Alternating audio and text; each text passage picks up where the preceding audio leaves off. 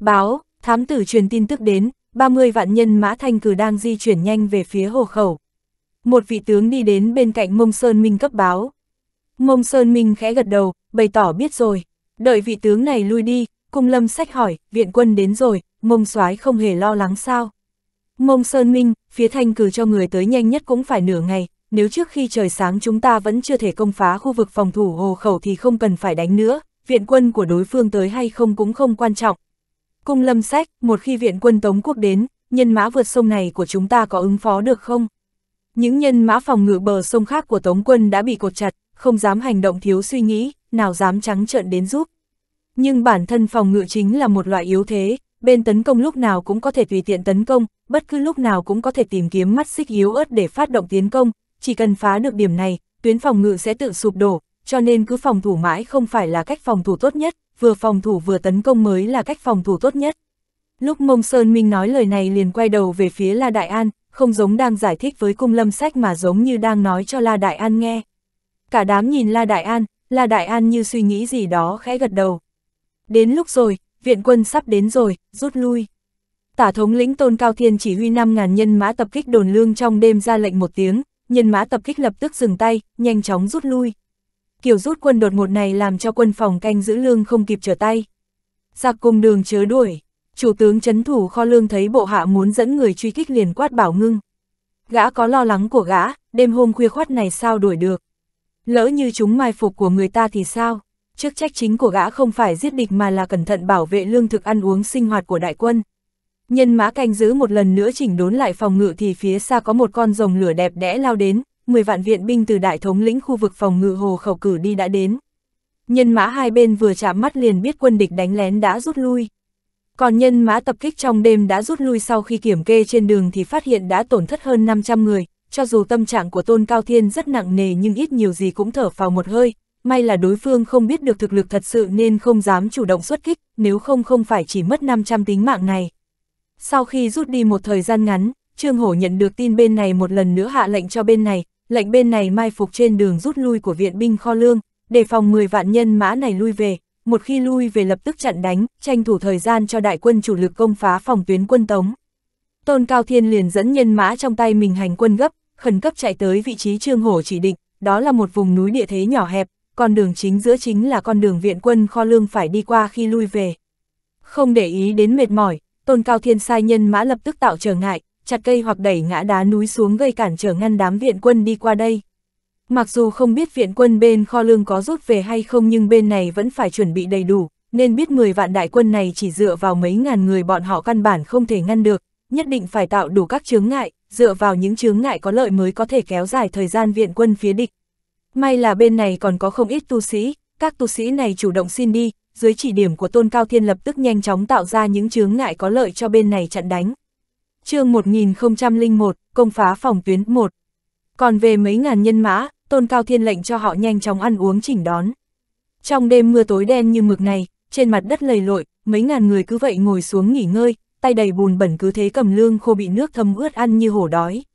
Ai nấy đã không còn dạng người thì còn để ý gì đến bẩn hay không bẩn, có cái để ăn là tốt lắm rồi. Với kinh nghiệm xa trường của Trương Hổ, những phòng bị trước của y không phải không có lý. Đại thống lĩnh tử của khu vực phòng thủ hổ khẩu lập tức ý thức được có gì đó không đúng, nghi ngờ mình trúng kế, sau khi nhân mã bờ bên kia phát động tấn công lập tức nhận rõ nặng nhẹ. Một khi phòng tuyến bên này thất thủ, cửa lớn đi vào Tống Quốc coi như mở ra, vậy ông cũng sẽ trở thành tội nhân thiên cổ của Tống Quốc. Gã quyết đoán từ bỏ kho lương, hoặc có thể nói kho lương thất thủ hay không đã không quan trọng, lúc này, phòng tuyến mới là quan trọng nhất, kho lương mất còn có thể nghĩ cách, một khi phòng tuyến bị công phá, hậu quả khó mà lường được. Gã khẩn cấp hạ lệnh, lệnh cho 10 vạn nhân mã tiếp viện kho lương nhanh chóng lui về. Tổng đốc ô quần liệt phòng ngự trên sông sau khi nhận được tin đã chứng minh phán đoán của gã là đúng, ý của ô quần liệt cũng là muốn bảo ông lập tức rút quân tiếp viện kho lương về, tập trung lực lượng toàn lực thủ hộ phòng tuyến hổ khẩu, 30 vạn đại quân thanh cử bên kia đã phái đi cứu viện, một khi xuất hiện gì đó bất ngờ, cho dù thế nào cũng phải đợi quân cứu viện thanh cử đuổi tới. Tóm lại giờ phải bất chấp mọi giá giữ cho được phòng tuyến hổ khẩu, kho lương không quan trọng. Động tác của Từ Lai Bình đã làm trước, 30 vạn viện quân phái đi nhanh chóng rút lui. Tấn công phòng ngự trên mặt sông vang dội, hai bên chém giết sung trời, những bè gỗ lít nha lít nhít mượn dòng chảy xiết đâm sang bờ bên kia. từng quả cầu lửa xẹt qua bầu trời đêm như mưa phùn. Những ngọn lửa nện xuống mặt sống như đèn lồng trôi nổi cùng với những thứ như đèn lồng tiếp tục lơ lửng thiêu đốt mặt sông.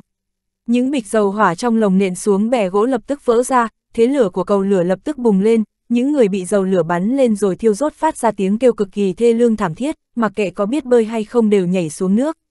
Có mấy người đập lửa trên người, có người dùng gỗ hắt nước dập lửa. Bờ đông mặt sông tối đen như mực trong khoảnh khắc đã khắp nơi là ánh lửa, nếu không có những tiếng kêu thê lương thảm thiết thì có lẽ là một cảnh tượng rất đẹp. Máy ném đá bắn ra những tảng đá, trên bờ sông bên kia vang lên tiếng gào rít bắt đầu đánh tới những bè gỗ lít nha lít nhít trên mặt sông, tiếng kêu thảm, tiếng bè gỗ nứt ra bắt đầu trộn lẫn với tiếng ầm ầm trong bầu trời đêm. Bắn tên, tướng chấn thủ bờ sông cầm kiếm gầm thét, một đám cung thủ dương cung cùng bắn, những mũi tên đen xì lao vút trong bầu trời đêm, trên mặt sông không ít người kêu lên thảm thiết rồi ngã xuống. Giữa lòng sông có vài bè gỗ lẻ tử dừng lại, tất cả đều nhờ một nhóm tu sĩ thi pháp giữ cho không trôi lung tung, các chủ tướng đứng trên bè gỗ đều là người phụ trách chỉ huy. Trương Hổ đích thân tiến công tiền tuyến, đứng trên một bèn gỗ, cũng rút kiếm gầm thét tiến công. Kẻ nào rút lui, giết, ông đang ép nhân mã triều đình đánh tiên phong, những kẻ biết bơi nhảy xuống nước bơi trở về lập tức bị những mũi tên dày đặc bắn cho máu nhuộm đỏ sông, có lẽ có tu sĩ bổ một đạo kiếm khí chém chết, tóm lại là muốn bước đại quân phải liều chết sông về phía trước. Mông Sơn Minh nói, trận chiến này liên quan đến sinh tử tồn vong của Đại Yến, chỉ cho phép thắng, không cho phép bại, vì vậy cứ phải đem mạng người ra mà chất lên. Thế công của bên phòng ngự quá mạnh, người bên này khó cập bờ, chỉ có vài người vọt được lên bờ liền bị một lượng lớn quân địch chém chết. Hai bên rơi vào rằng co, ở một chỗ khác, 10 vạn viện quân lui về cuối cùng cũng bị ngăn cản ở khu vực cần vượt qua, hơn 4.000 tướng sĩ đối mặt với tấn công của 10 vạn nhân mã, chém giết đẫm máu dưới những chướng ngại tầng tầng, độ bi tránh và thê thảm rất khó hình dung, ngay cả những tu sĩ đi cùng đoàn quân cũng đều ra trận liều mạng với địch. Trong công sát của bờ sông sau khi trải qua một phen tiêu hao kịch liệt, thế công của những mũi tên trên bờ hơi yếu đi, Trương Hổ ra lệnh một tiếng, một lượng lớn tu sĩ Yến quốc bắt đầu phóng lên bờ sông. Tu sĩ bên Tống quốc lập tức bay ra từng nhóm, nghênh chiến với tu sĩ Yến quốc đột kích, hai bên liều mạng chém giết trên sông lớn, đánh vô cùng oanh liệt, phía dưới không ít bè gỗ bị dính trưởng không thể né tránh được. Thấy một lượng lớn tu sĩ bên Tống quốc đã bị dụ ra dây dưa, dưới ánh lửa, gương mặt Trương Hổ lộ ra vẻ dữ tợn đột nhiên quay đầu, nghiêm nghị nói truyền lệnh cho tả thống lĩnh Quách Hiến Phúc, phục binh lập tức xuất kích. Quân lệnh của Trương Hổ vừa giáng xuống, lúc này tả thống lĩnh Quách Hiến Phúc đang nấp trong bóng tối đứng dậy, ra lệnh một tiếng, dẫn hai vạn tráng sĩ phi nhanh trong đêm tối, chạy đến nơi bầu trời được ánh lửa chiếu sáng. Khoảng cách gần nấp quá xa, cũng không dám tới gần, tới gần quá nguy hiểm, không cách nào tránh khỏi không bị phát hiện. Trên đường có người trượt chân ngã sắp xuống, đứng lên rồi lại tiếp tục phi nước đại. Trên đường gặp vài đội quân nhỏ tập kích gây rối liền trực tiếp chém giết. Trên bờ sông đang chém giết đối kháng, phía sau đột nhiên truyền tin tới, từ Lai Bình suýt chút nữa chảy mồ lạnh ướt xuống cả người, may mắn trước đó ít nhiều gã cũng đã chuẩn bị tâm lý, lập tức dứt khoát điều năm vạn nhân mã đi chặn đường, cũng dậm chân chửi rủa, trách 10 vạn viện quân rút về sao còn chưa tới. Gã không hề biết lúc này viện quân đang rút về cũng đang bị chặn đánh thảm thiết. Quách Hiến Phúc không hổ là tướng tài đắc lực dưới trướng Trương Hổ, cũng thực sự là lão tướng kinh nghiệm xa trường, năng lực ứng biến khi lâm chiến không yếu, trên đường thấy kinh động đối phương rồi thì lập tức lệnh cho 5.000 người tiếp tục tấn công, hấp dẫn sự chú ý của quân địch và chặn quân chủ lực của địch, mình thì dẫn hai vạn người đi vòng. Rất nhanh, 5.000 nhân mã tập kích liền va chạm với 5 vạn quân tống chặn đường, lại một trận chém giết đẫm máu xảy ra. Chờ một lát, đợi khi từ Lai Bình phát hiện lại có quân địch từ một hướng khác đột kích thì đã không còn kịp nữa, bên này cũng khó rút ra thêm được một lượng lớn nhân mã chặn đường. Giết, Quách Hiến Phúc vung đao gầm thét xông đến khu vực phòng thủ, dẫn hai vạn nhân mã như một lưỡi dao hung hăng đâm vào quân địch. Không dây dưa với địch, liều mạng tiến lên, tu sĩ xung phong mở đường. Một lượng lớn tu sĩ quân Tống đang giao chiến với tu sĩ Yến quốc trên sông, bị tu sĩ Yến quốc quấn lấy, dù kịp thời biết phía sau bị đánh lén thì cũng không cách nào rút lui được, vừa rút lui, phòng thủ trên bờ sẽ bị tu sĩ Yến quốc công phá, kết quả cũng như vậy. Không có một lượng lớn tu sĩ ngăn cản, Quách Hiến Phúc dẫn quân lính như mãnh hổ lao vào bầy cừu, sau khi chém giết tuyến đầu, lập tức tiến hành tấn công những cung tiễn thủ trên bờ và các thiết bị tấn công từ xa. Trên bờ sông lập tức rối nùi, một cuộc chém giết hỗn loạn diễn ra.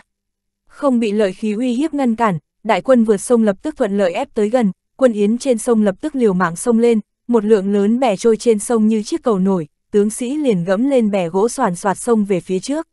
Không ngừng có tu sĩ lật bè gỗ, mong ngăn cản nhưng giống như hạt cát trong sa mạc, không thể ngăn được đám người sông đến lít nha lít nhít như kiến hôi, cộng thêm có đám tu sĩ Yến quốc ngăn cản.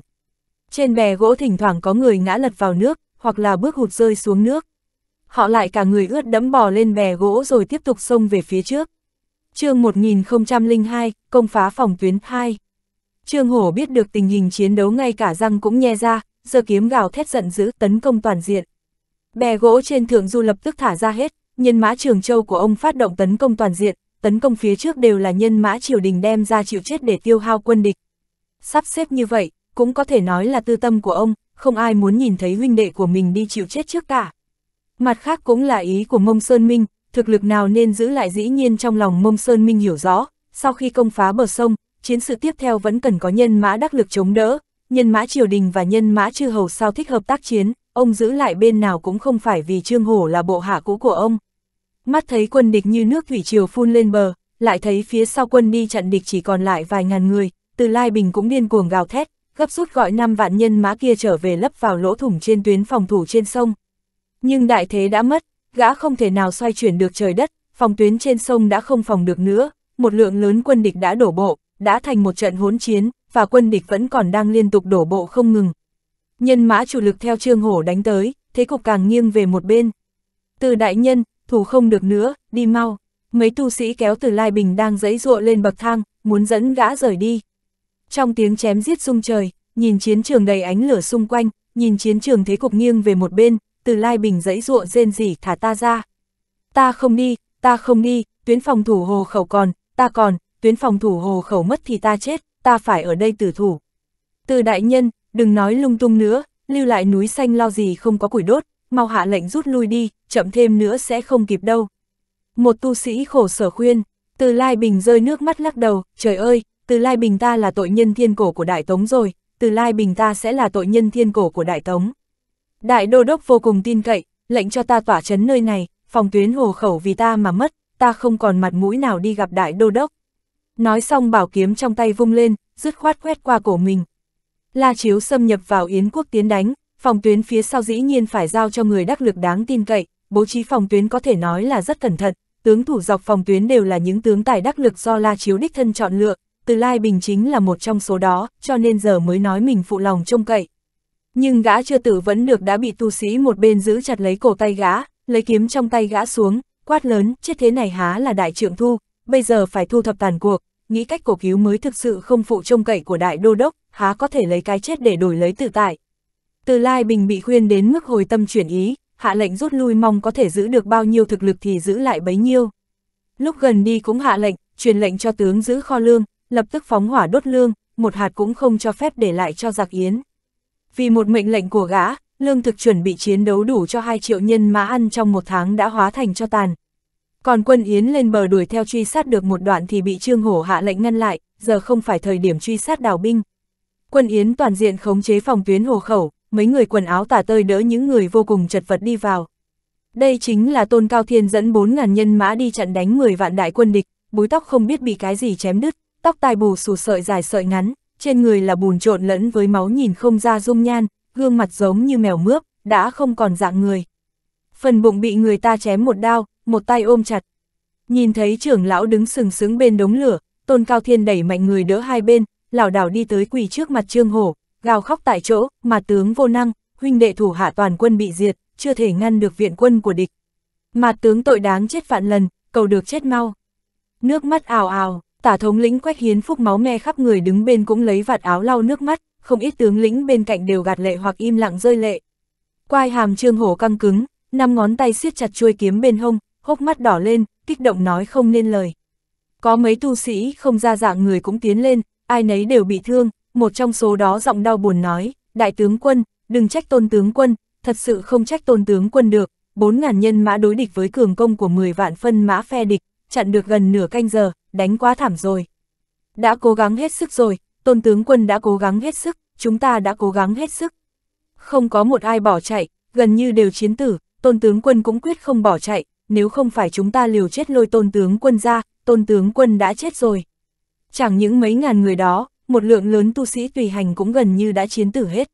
hai Trương Hổ ngửa mặt lên trời mở miệng chậm rãi thở dài một hơi, khống chế cảm xúc, tiến lên trước một bước, hai tay đỡ tôn cao thiên dậy, không phải tại ngươi, rất tốt, các ngươi làm rất tốt, các huynh đệ đều làm rất tốt, đã không phụ ủy thác của mông soái phòng tuyến hồ khẩu đã đánh hạ thuận lợi, các ngươi không có lỗi mà có công lớn. Điều này tuyệt đối không ngoa, nếu như 10 vạn nhân mã kia đuổi tới sớm nửa canh giờ, chiến cuộc có thể xảy ra biến hóa gì không không ai nói rõ được. Ông sợ biến hóa này, sợ Quách Hiến Phúc dẫn nhân mã mai phục từ phía sau bị 10 vạn viện quân kia đuổi tới sẽ bị kẹp giữa, một khi phục binh không thể kịp thời làm rối loạn nhân mã phòng thủ trên sông, hậu quả sẽ khó lường. Mấu chốt là ông không thể lệnh cho nhân mã của Quách Hiến Phúc cường công lúc chiến sự vừa nổ ra, nhất định phải chờ khi dụ được một lượng lớn tu sĩ của quân địch đi ra rồi mới có thể hạ lệnh động thủ, nếu không đối mặt với một lượng lớn tu sĩ chặn đánh, nhân mã Quách Hiến Phúc xuất lĩnh rất khó phát huy được tác dụng, bởi vậy trước đó mới luôn đổ Quách Hiến Phúc ẩn núp bất động, cũng là vì tê liệt quân địch. Khảo nghiệm thời gian chờ đợi ẩn nấp bất động cũng chính là việc Tôn Cao Thiên có thể giữ quân 10 vạn viện quân bao lâu. Lúc ông bắt đầu hạ lệnh này với Tôn Cao Thiên, ông đã biết bên phía Tôn Cao Thiên sẽ thê thảm chừng nào, mấy ngàn người đối mặt với 10 vạn đại quân của địch, hậu quả không khó tưởng tượng. Thời điểm hạ mệnh lệnh này, ông cũng không đành lòng, nhưng ông không còn cách nào khác, việc này liên quan đến thắng bại của cả chiến cuộc, không nói gì về đại yến nhưng sẽ có rất nhiều huynh đệ sẽ chết uổng. Tôn Cao Thiên được đỡ dậy khóc thảm lắc đầu, không cầu có công, nhưng cầu báo thù, đại tướng quân nếu tin tưởng mặt tướng, hãy cho mặt tướng một đạo nhân mã, mà tướng sẽ tiêu diệt hết đám viện quân kia, báo thù cho các huynh đệ đã chết.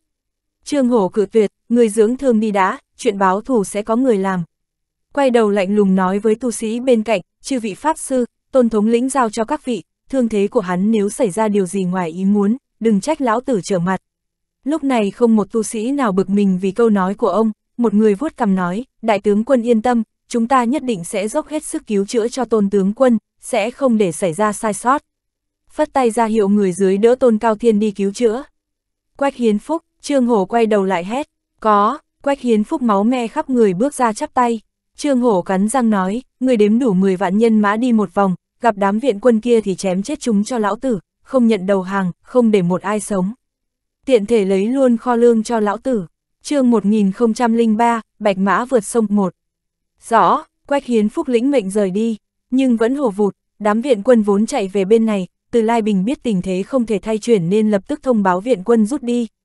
Thực ra 10 vạn viện quân cũng tử thương nghiêm trọng, lúc cường công phải hao tổn gần 3 vạn nhân mã mới công phá được.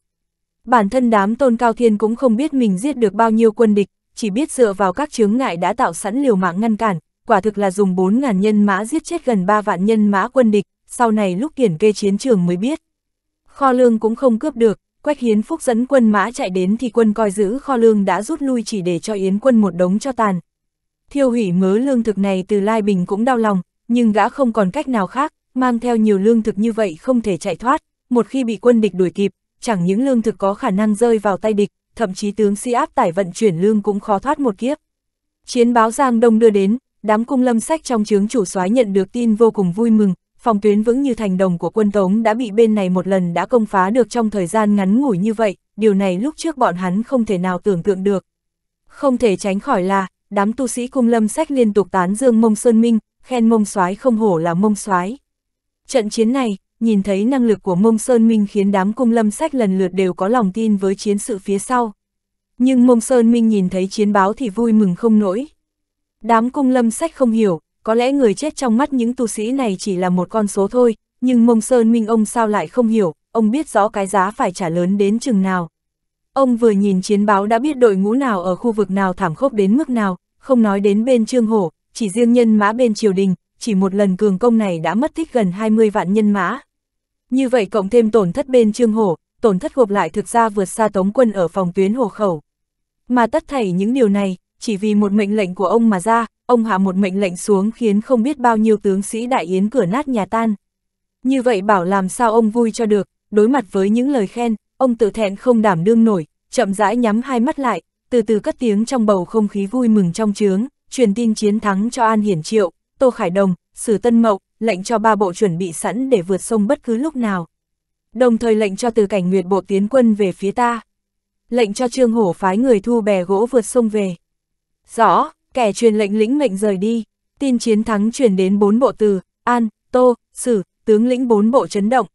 Không phải quân lính bốn bộ không tin vào Mông Sơn Minh, mà không ngờ Mông Sơn Minh có thể công phá phòng tuyến phòng vệ trên sông của Tống Quốc nhanh như vậy, đây gọi là thần tốc.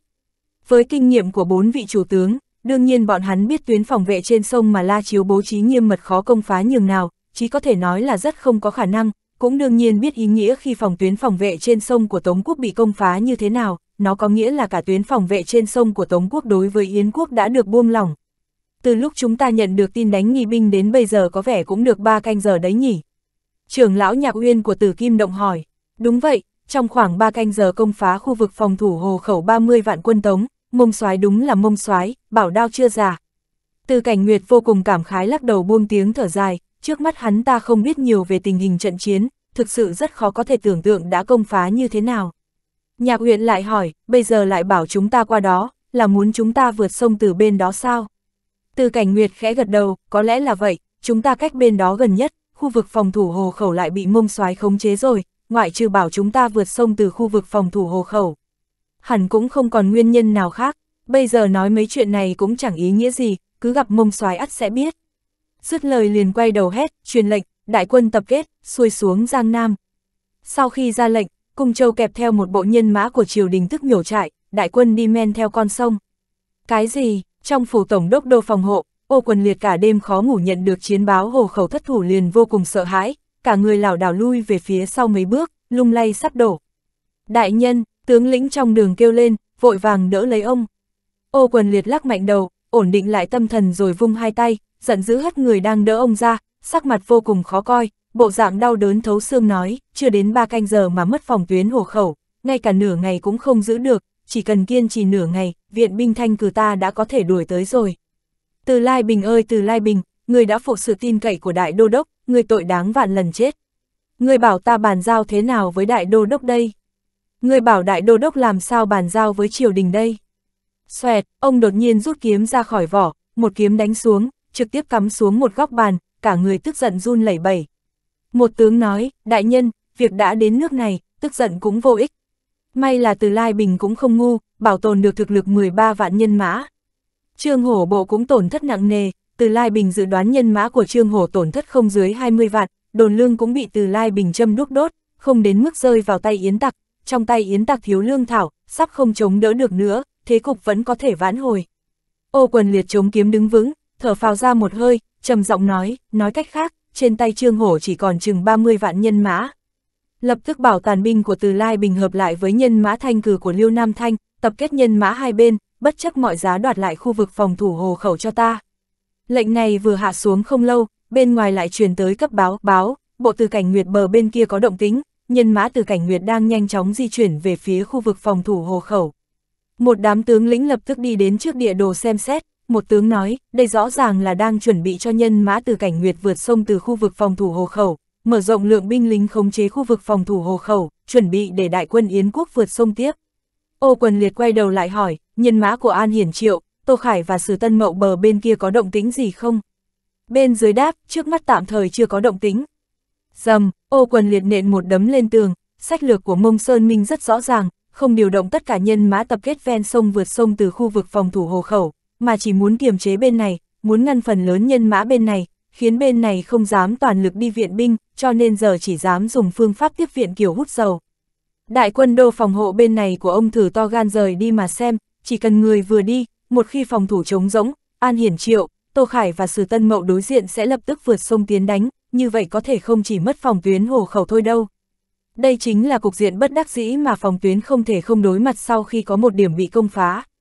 Lại truyền lệnh cho Liêu Nam Thanh, lệnh cho viện binh Thanh cử tăng tốc tiến quân, cần phải mau chóng hội hợp với tàn quân của Từ Lai Bình, cần phải giành lại được tuyến phòng thủ hồ khẩu trước khi từ cảnh nguyệt bộ vượt sông.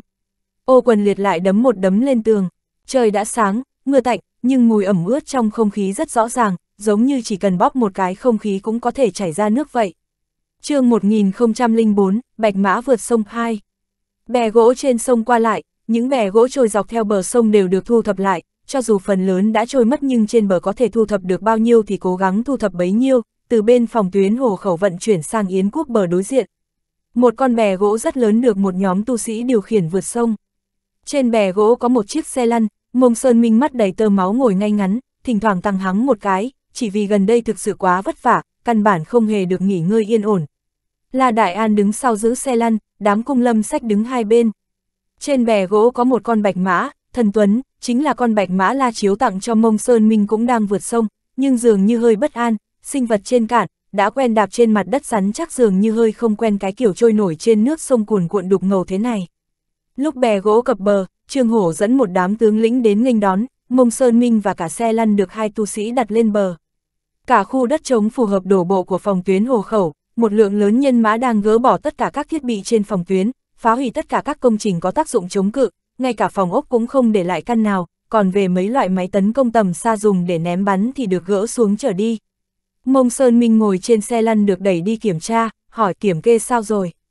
Trương Hổ nói, may là quân ta dùng các tấn công nhanh, giết cho đối phương trở tay không kịp, đối phương rút lui quá đột ngột, rất nhiều vật tư còn chưa kịp tiêu hủy, tiện nghi cho chúng ta. Nơi đây có chữ đủ lương thực cho mấy trăm ngàn nhân mã ta ăn trong 6-7 ngày. Bên kho lương, lúc Quách Hiến Phúc dẫn người chạy đến thì phát hiện kho lương đang yên ổn bị một ngọn đuốc đốt thành cho bụi. Không thể đắc thủ, chân mày mông sơn minh hơi nhíu lại, nhiều lương thực như vậy, chính là thứ bên này rất cần vậy mà lại bị hủy, không khỏi hơi đau lòng.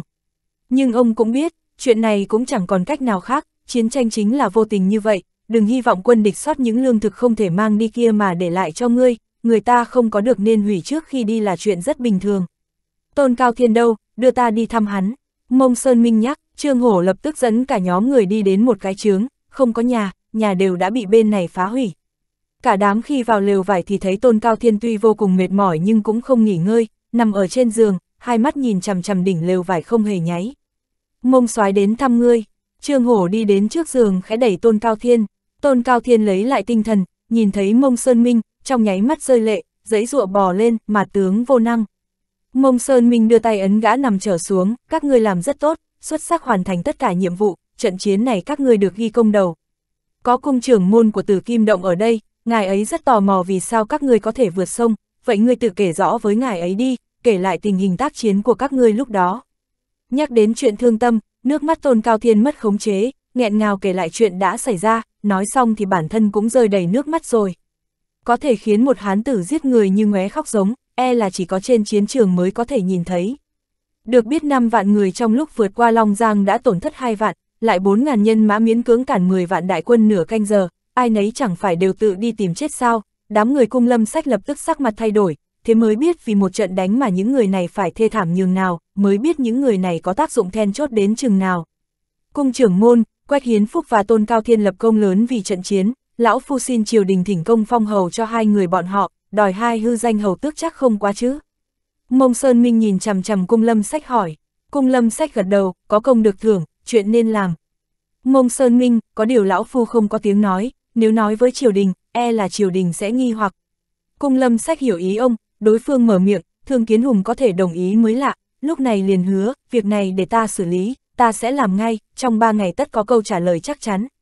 Mông Sơn Minh, năm vạn tráng sĩ dùng mệnh, ta còn có một thỉnh cầu, hy vọng sau trận chiến triều đình có thể lập một bia đá lớn, khắc tên năm vạn tráng sĩ này lên, ta muốn bọn họ thiên thu bất hủ, là mẫu mực thiên thu của Nam Nhi Đại Yến ta, là niềm kiêu ngạo cho con cháu Đại Yến sau này, hun đúc quân hồn Đại Yến ta.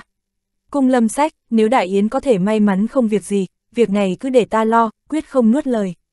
Chuyện này với ông ta mà nói, căn bản không tổn thất gì nên cứ cam đam trước mặt mọi người, và dĩ nhiên cũng không còn đường để hối hận.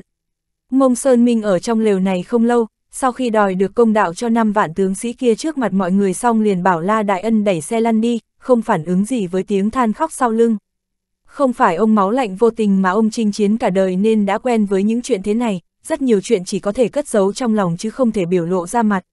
Ông có thể hiểu vì sao Tôn Cao Thiên lại khóc, nơi có thể khiến một đám hán tử giết người như ngóe khóc chỉ có chiến trường. Đến chứng chủ soái của Trương Hổ, xe lăn dừng lại trước tấm địa đồ theo thói quen, Mông Sơn Minh nhìn chằm chằm địa đồ hỏi, bên huyện Giang Hạ chuẩn bị sao rồi? Khụ khụ, Trương Hổ nói, nhân mã đã xuất phát, ban ngày lặn ban đêm đi bộ. Nói được một nửa, ánh mắt hơi liếc nhìn bàn tay Mông Sơn Minh che miệng ho khan, lập tức thấy giật mình, thấy lòng bàn tay Mông Sơn Minh có màu đỏ, ho ra máu. Trương Hổ lập tức sợ hãi, bước nhanh tới, đại soái, ngài sao vậy? Mông Sơn Minh vốn định giấu giếm, ai ngờ vẫn bị phát hiện, đám cung lâm sách cũng tiến lên xem xét, giật nảy cả mình. Chiến sự đã đến bước này, lão gia hỏa này cũng không thể xảy ra chuyện được. Cung lâm sách hơi luống cuống, đích thân kiểm tra bệnh cho Mông Sơn Minh. Mông Sơn Minh thở dài, không có việc gì. Sao có thể không có việc gì, ông đã ở tuổi này, mấy ngày nay gần như không hề chợp mắt, thật sự dốc hết tâm huyết bày bố chiến sự, cơ thể sắp không chịu được nữa. Sau đó để kiểm tra, cung lâm sách nhanh chóng lấy linh đan ra ép ông uống, trầm giọng nói, mông soái người mệt nhọc quá độ, không thể thức đêm nữa, phải nghỉ ngơi thôi. Phất tay gọi người đến, ép buộc mông Sơn Minh đi nghỉ ngơi. Mông Sơn Minh khoát tay, ra hiệu chờ một lát, trước khi đi tiếp tục dặn dò Trương Hổ, chỉ được phép bại, không được phép thắng. Trương Hổ mặt mày lo lắng, liên tục gật đầu nói, đã rõ, đại soái đi nghỉ ngơi đi, ở đây để mà tướng sắp xếp. Mông Sơn Minh siết chặt tay ông vỗ vỗ, để tránh dao động quân tâm, không được truyền ra ngoài. Trương Hổ gật đầu, hiểu rõ ông đang nói chuyện mình ho ra máu. Sau đó Mông Sơn Minh được đưa đến một lều vải khác, cung lâm sách cử đệ tử đắc lực thi pháp điều trị khí tức cho Mông Sơn Minh, thậm chí điểm huyệt Mông Sơn Minh, ép Mông Sơn Minh mau chóng tiến vào trạng thái nghỉ ngơi. Sau khi ra khỏi trướng Mông Sơn Minh chui nghỉ ngơi, Trương Hổ thỉnh giáo cung lâm sách, cung trưởng môn, đại soái không sao chứ. Không có vấn đề gì lớn, lớn tuổi, quá mức vất vả, mỏi mệt quá độ, là ta sơ sót. Ngươi yên tâm đi, có chúng ta trợ giúp điều trị, nghỉ ngơi một lúc, có lẽ sẽ không sao. Cung lâm sách buông tiếng thở dài, quay đầu lại hỏi, nhân mã đô phòng đê Tống Quốc đang chạy sang đây, nơi này giao cho ngươi chỉ huy, sẽ không có gì sai sót chứ. Trương Hổ, chắc chắn phải có sai sót. Cung lâm sách đột nhiên quay đầu, lông mày trao lại, lạnh lùng nói, ngươi đang đùa giỡn với bản cung sao. Trương Hổ, không đùa, vừa rồi đại soái nói ngài cũng đã che rồi, chỉ cho phép bại, không cho phép thắng. chương 1005, Lão Thất Phu Mông Sơn Minh. Cung lâm sách hơi sướng ra, suy nghĩ một lát, đúng là ban nãy Mông Sơn Minh có nói vậy, bị bệnh tình của Mông Sơn Minh làm dối nên mạch suy nghĩ nhất thời không theo kịp. Trần Trừ nói, nói cách khác, Mông soái có kế hoạch khác. Trương Hổ gật đầu, cung lâm sách, không ngại nói kỹ chứ. Trương Hổ lắc đầu, không thể nói, tướng hạ lệnh, lính chấp hành là được, không cần huyên náo cho mọi người đều biết. Cung lâm sách lạnh lùng hừ một tiếng, sao? Ngay cả ta cũng không tin, chẳng lẽ ta mà để lộ bí mật sao? Trương Hổ, đây không phải vấn đề tín nhiệm hay không, tính mạng mấy trăm ngàn nhân mã có thể đặt cược vào hai chữ tín nhiệm sao? Quân cơ trên chiến trường đều là tuyệt mật, quân lệnh không thể tiết lộ. Vẻ mặt cung lâm sách hơi bất mãn nhưng cũng không miễn cưỡng. Trương Hổ không nói, giờ ông cũng không dám làm gì Trương Hổ. Không sơn sau cơn mưa xuân, cả ngọn núi được sương mù mông lung bao phủ, có thể nhìn thấy dòng sông chảy về hướng đông phía xa. Ngưu Hữu đạo nhận tin tức công tôn bố truyền đến mà quản phương nghi đưa sang, sau khi đọc xong, mỉm cười, mông sơn minh không hổ là mông sơn minh, đề phòng hộ tống quốc quả nhiên cũng không thể cản được ông ấy, một chiến dịch đã công phá được. Trước đó chậm chạp án binh bất động, ngay cả ta cũng sốt ruột thay ông ấy. Trước đó đúng là hắn hơi sốt ruột vì biết lương thực đại quân có hạn, thậm chí còn sắp xếp người tìm hiểu tình hình tu sĩ bờ bên kia, muốn ra tay từ tu sĩ bờ bên kia, xem thử có thể giải quyết được một ít, lén thả yến quân sang sông không. Ai ngờ bản thân Mông Sơn Minh đã làm xong, căn bản không cần phiền đến hắn. Còn về tình hình thương vong, hắn cũng chỉ nhìn thấy con số đại khái, không có cảm xúc lắm với tình hình chiến sự thảm khốc, chỉ vui mừng vì tin chiến thắng. Hắn không hiểu về phương diện này lắm, lại không tận mắt chứng kiến nên thực sự không có cảm xúc quá lớn. Quản Phương Nhi cũng chỉ buông tiếng thở dài, đại quân chém giết, nhân mạng như cỏ rác, một đại danh tướng. Một tướng công thành vạn cốt khô, đại nhân, viện quân tới, quân phòng thủ hồ khẩu chiến bại đang ở trong rừng nghỉ ngơi, từ lai bình mặt mày u rột ngồi trên hòn đá cúi đầu, sĩ khí tướng sĩ xung quanh đều uể oải suy sụp. Một con ngựa chạy như bay đến, mừng rỡ báo lên tin vui. Phía xa cũng truyền tới động tính, từ Lai Bình chậm rãi ngẩng đầu lên nhìn phía trước, một lát sau nhìn thấy một chi nhân mã trùng điệp. Đội ngũ phía trước, mấy chục bị binh quất roi thúc ngựa lao đến siết dây cương trước mặt bên này. Người cầm đầu chính là Liêu Nam Thanh tướng chủ quân chú ở Thanh Cử, ngồi trên lưng ngựa hét lớn với Từ Lai Bình ngồi trên sườn núi, Từ Huynh. Từ Lai Bình xuống núi, bước đến trước ngựa lắc đầu cười khổ, phòng tuyến hồ khẩu thất thủ, từ mũ muôn lần chết khó từ tội lỗi, ngày sau vợ con trong kinh mong Liêu Huynh trông nom thay. Liêu Nam Thanh nhảy xuống ngựa, kéo cánh tay gã, từ huynh không cần ủ rũ như vậy, tổng đốc đại nhân có lệnh, mệnh người ta hợp binh, cần phải chạy tới cướp phòng tuyến hồ khẩu trước khi từ cảnh nguyệt bộ vượt sông, đây chính là thời điểm lập công chuộc tội, mau sốc lại tinh thần đi. Chỉ cần đoạt lại phòng tuyến hồ khẩu, cùng lắm từ huynh chỉ bị giáng cấp, vợ con vẫn có thể chiếu có được, sao lại cần giao phó cho người khác. Giờ không phải lúc sông dài, từ Lai Bình cũng không thể không chiến đấu, chỉ có thể sốc lại tinh thần. Nhân mã hai bên gặp nhau, một lần nữa hành quân nhanh về phía phòng tuyến hồ khẩu, từ Lai Bình có thể nói ngóc đầu trở lại. Đại quân Tống quốc xâm nhập vào lãnh thổ Yến quốc vẫn lao thẳng đến Yến Kinh, vẫn thế như trẻ tre, quấy rối lẻ tẻ của một bộ phận nhân mã ở các châu phủ chỉ như gãi ngứa, căn bản không thể ngăn cản thế công của quân Tống. Đại quân tiến lên, bên cạnh con đường, La Chiếu đã nhảy xuống ngựa, hai tay chống trên yên ngựa cúi đầu, cả người gần như run lẩy bẩy, áo choàng trắng bao phủ toàn thân đang run lẩy bẩy, đốt ngón tay của hai tay bóp trắng bệch. Mấy người bên cạnh luân phiên xem chiến báo đô phòng hộ Tống quốc gửi tới, phòng tuyến hồ khẩu đã bị Yến quân công phá. Sắc mặt ai nấy đều khó coi. Chiến báo trước đó nhận được nói kho lương phía sau phòng tuyến hồ khẩu đột nhiên bị một lượng lớn Yến quân tập kích, La Chiếu đã đoán có thể không phải thực sự là một lượng lớn Yến quân, để đề phòng bên kia chúng kế đã mau chóng chuyển kế sách ứng đối về. Ai ngờ, chắc tin bên này còn đang trên đường truyền đi thì tin phòng tuyến hồ khẩu bị công phá đã đến. Đô phòng hộ ta từ lúc nào đã thành một tờ giấy, sao có thể đâm một cái là rách như vậy? Ô quần liệt, tên ngu này, đáng chết. La Chiếu đột nhiên đánh một quyền lên yên ngựa, con ngựa kinh hãi hí lên rồi lui sang một bên.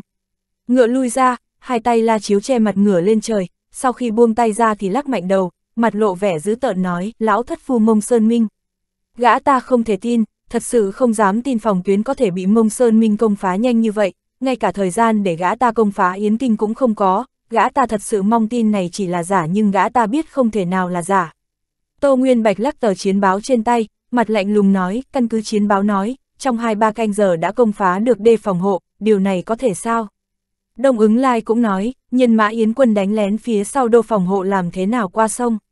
Vùng ven sông có tu sĩ thay nhau tuần tra, nhiều nhân mã sang sông như vậy, tu sĩ không thể không phát hiện, chẳng lẽ đã bị ai đó mua chuộc nên thả vào sao? Văn Du cao mày nói, bản thân đô phòng hộ cũng không rõ, đến giờ vẫn chưa biết quân địch lén qua bằng cách nào. La Chiếu bất lực lắc đầu nói, mông sơn minh kia án binh bất động mấy ngày nay chắc đã ngầm tác quái, chuẩn bị để vượt sông.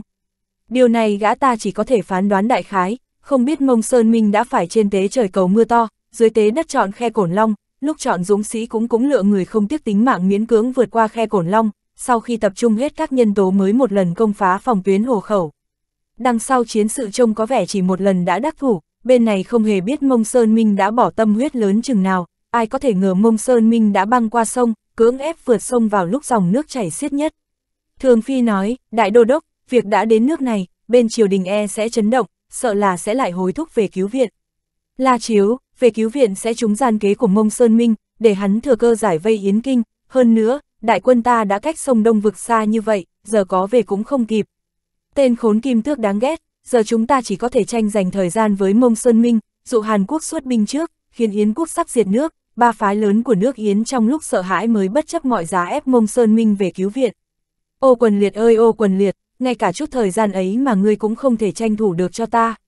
Oán hận đấm xuống một đấm, phòng tuyến phòng thủ bờ sông một điểm bị công phá cả tuyến sẽ bị buông lỏng, ô quần liệt ngu xuẩn kia vẫn đang dùng chiến thuật thêm dầu để chặn lỗ hồng. giao chiến tiểu bộ hắn có thể là đối thủ của lão tặc mông Sơn Minh sao. Hồ đồ, giờ tiêu diệt trọng binh mới quan trọng, Văn Du thở dài, chuyện này thật ra cũng không thể trách hắn, không có lệnh bên trên, sao ô quần liệt dám thả lỏng phòng tuyến, đây là chuyện rơi đầu, hắn không gánh được trách nhiệm lớn như vậy.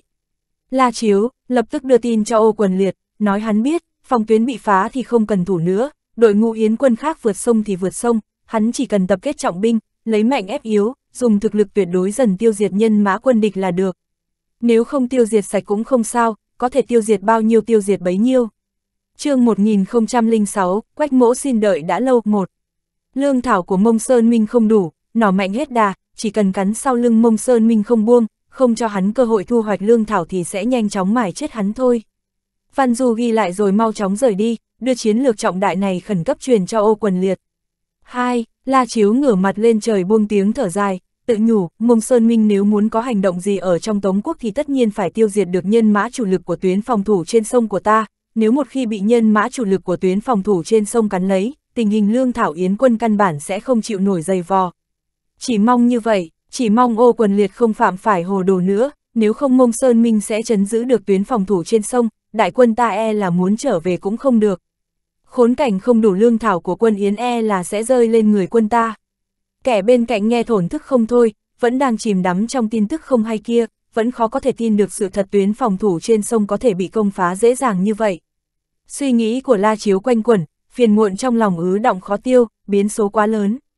Gã ta biết có thể mình đã gặp phải một biến số cực lớn. Cho dù cho tới bây giờ, Tống quốc vẫn chiếm ưu thế tuyệt đối, dù tuyến phòng thủ trên sông có bị công phá, khốn cảnh của quân Yến vẫn rất nan giải, theo lý thuyết đánh bại quân Yến căn bản không thành vấn đề, nhưng Mông Sơn Minh một lần đã đánh tan tuyến phòng thủ trên sông vẫn để lại bóng ma khó xóa trong lòng gã ta. Mấu chốt của vấn đề vẫn nằm ở Mông Sơn Minh, có thể biến chuyện một lần công phá được tuyến phòng thủ trên sông không thể thành có thể, ai dám cam đoan Mông Sơn Minh không thể lội ngược nghịch cảnh. Yến Sơn Minh, tề vô hận, La Chiếu đi qua đi lại ngửa mặt lên trời thở dài một tiếng. Gã ta nghĩ tới hành vi vô lễ của mình khi tặng Mông Sơn Minh con ngựa trắng kia, cũng nhớ đến hồi âm của Mông Sơn Minh, nói tất có hậu lễ báo đáp. Gã ta hơi hối hận, không phải hối hận vì sự vô lễ của mình, đó vốn là cách khích tướng, muốn khích Mông Sơn Minh đuổi đến, có điều Mông Sơn Minh không mắc lừa mà thôi. Gã hối hận vì không nên đưa đại quân xâm nhập, nên đích thân chính diện đối đầu với Mông Sơn Minh, nhưng ai có thể ngờ tuyến phòng thủ trên sông lại bị công phá nhanh như vậy. Đứng trên lập trường của gã ta lúc đó mà nói, đây là trận chiến nhằm khiến Yến quốc diệt quốc, gã ta nhất định phải tranh thủ được lợi ích lớn nhất cho Tống quốc, hao tổn binh lực trong trận quyết đấu với Mông Sơn Minh là hành động không sáng suốt, chỉ khiến tiện nghi cho Hàn Quốc, gã ta nhất định phải để giành đủ thực lực mưu đoạt địa bàn Yến quốc với Hàn Quốc.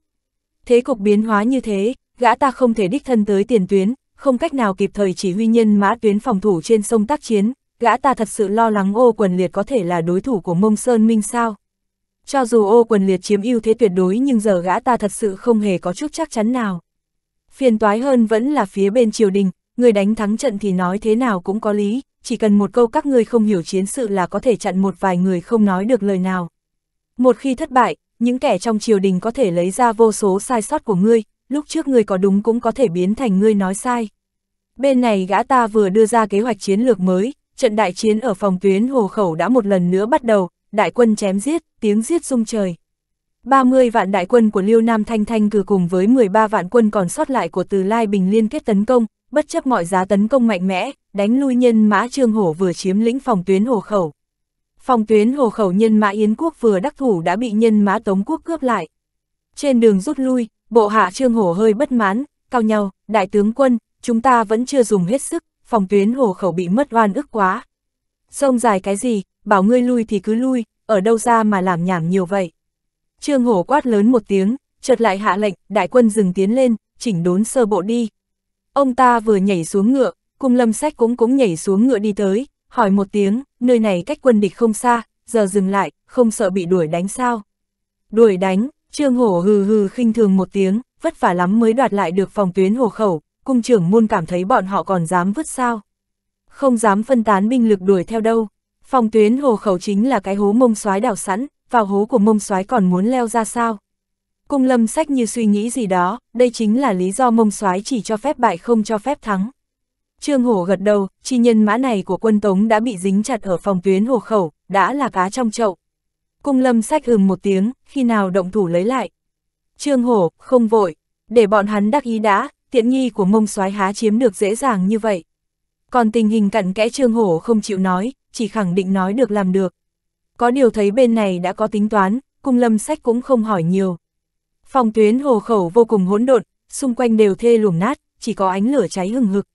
Liêu Nam Thanh và Từ Lai Bình tuần sát trong mớ tàn phá phát hiện quân Yến không hề lưu lại gì cho bọn hắn, thứ gì không mang đi được hoặc đốt hoặc hủy, ngay cả một căn nhà có thể đặt chân cũng không để lại cho bọn hắn.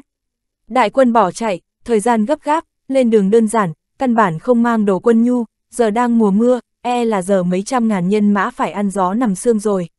Càng làm cho bên này nhức đầu là, Yến quốc cũng không rút xa, thỉnh thoảng lại chạy tới tập kích quấy rối. Mục đích quân địch rất đơn giản, khi dễ bên này không dám bỏ phòng tuyến đuổi theo xa, cứ quấy rối mãi như vậy là muốn để bên này không thể nào nghỉ ngơi. Bên này vừa đuổi, nhân mã tập kích quấy rối lập tức bỏ chạy, nhân mã truy kích không dám chạy xa, sợ bị chủ lực quân Yến bao vây tiêu diệt. Tin chiến thắng, tin chiến thắng, trong phủ tổng đốc tuyến phòng ngự trên sông, một vị tướng cầm tin chiến thắng chạy vào trong trấn giang đường. Ô quần liệt thức đỏ kè hai mắt đứng bật dậy từ sau án, lộ ra ánh mắt cực kỳ mong chờ. Tiểu tướng tiến vào trong đường trước mặt các tướng, hai tay trình lên tin chiến thắng, liêu tướng quân và từ tướng quân hợp binh đã một lần đoạt được phòng tuyến hồ khẩu. a à, chư tướng trong đường lập tức mừng rỡ xôn xao, ô quần liệt cướp lấy tin chiến thắng đọc thử, sau khi xem xong mừng rỡ không thôi nói tốt. Rất tốt, lại tiếp tục dơ tin chiến thắng trong tay đưa cho mọi người nói, theo hai tướng báo về, quân Yến chỉ có 20 vạn nhân mã cho nên khó cản được thế quân ta, vì thế bị đánh hạ ngay. Xem ra khi vượt sông, nhân mã thuộc bộ trương hổ đã tổn thất rất thê thảm, nằm ngoài dự đoán của chúng ta, không chỉ tổn thất 20 vạn, e là tổn thất hơn 30 vạn. Truyền tin chiến thắng cho mọi người thay phiên nhau xem. Một vị tướng sau khi xem xong nói, vượt sông cường công với điều kiện như vậy, lại chỉ dựa vào vài bè gỗ, tổn thất nặng nề không thể tránh khỏi. Một tướng khác sau khi xem xong nói, cũng có thể thấy từ Lai Bình đã thật sự cố gắng. Có người cao mày nói, công trình của tuyến phòng ngự trên sông đều đã bị quân Yến làm hỏng, một khi từ cảnh Nguyệt Bộ vượt sông đến, phía sau lại có tàn quân Trương Hổ, tổn thất nặng nề không thể tránh. Trong đường yên tĩnh, đây đúng là chuyện phiền phức, tàn quân Trương Hổ chắc chắn sẽ không để hai người lưu, từ có cơ hội xây dựng lại công trình tuyến phòng ngự trên sông, tất nhiên phải không ngừng quấy rối, phối hợp với nhân mã từ cảnh Nguyệt vượt sông. Sau khi ô quần liệt hơi trầm mặc, trước mắt chỉ có thể để hai người lưu, từ bất chấp mọi giá cản trở, sau đó bên ta lại rút thêm 40 vạn nhân mã đi trợ giúp. chương 1007, Quách mẫu xin đợi đã lâu, 2. Lại có người nhắc nhở, đại quân vội vàng đi vội, chưa mang đủ đồ quân nhu lương thảo, quân sĩ chỉ mang theo lương thực hai ngày tùy thân, phải nhanh chóng tiếp tế cho phòng tuyến hồ khẩu. Một tướng nói, tiếp tế rất nhanh đến đúng chỗ thôi, nhân mã thanh cử vừa xuất phát, lương thảo đã gửi đi sau đó. Ô quần liệt trầm giọng nhắc nhở, nói cho hai người lưu, từ cần phải theo sát nhân mã trương hổ, để phòng cướp lương, lương thảo vừa đến, bảo hai người lập tức xuất một phần nhân mã đi tiếp ứng. Nói với bọn hắn, chỉ cần thủ vững mấy ngày, bốn người vạn viện binh của ta sẽ tới kịp. Bờ bên kia phòng tuyến hồ khẩu, nhân mã sở thuộc từ cảnh nguyệt bộ vội vàng chạy tới, lập tức nhanh chóng chuẩn bị bè gỗ vượt sông. Từ cảnh nguyệt đang đi học bờ sông xem xét, một tin từ bên trương hổ được đưa tới, bên trên chỉ viết, bảo bên này tạm dừng vượt sông, chỉ cần chuẩn bị trước, khi nào vượt sông thì nghe theo thông báo bên kia. Một phó tướng bên cạnh sau khi đọc tin cao mày nói, phòng tuyến hồ khẩu vất vả lắm mới tới tay lại mất, đây là lúc nên nhân lúc quân Tống chưa đứng vững chân vượt sông giáp công, chẳng lẽ còn muốn chờ quân Tống cải tạo xong công trình phòng thủ mới tiến công sao? Rốt cuộc mông soái đang dở trò quỷ gì? Từ cảnh nguyệt nhìn bờ sông bên kia, chậm rãi nói, chắc chắn mông soái không nói nhảm đâu, hẳn là có sắp xếp gì đó, chúng ta nghe lệnh là được. Huyện Giang Hạ, trong một rừng núi, đội xe lương dài như rồng, hai vạn nhân mã hộ tống.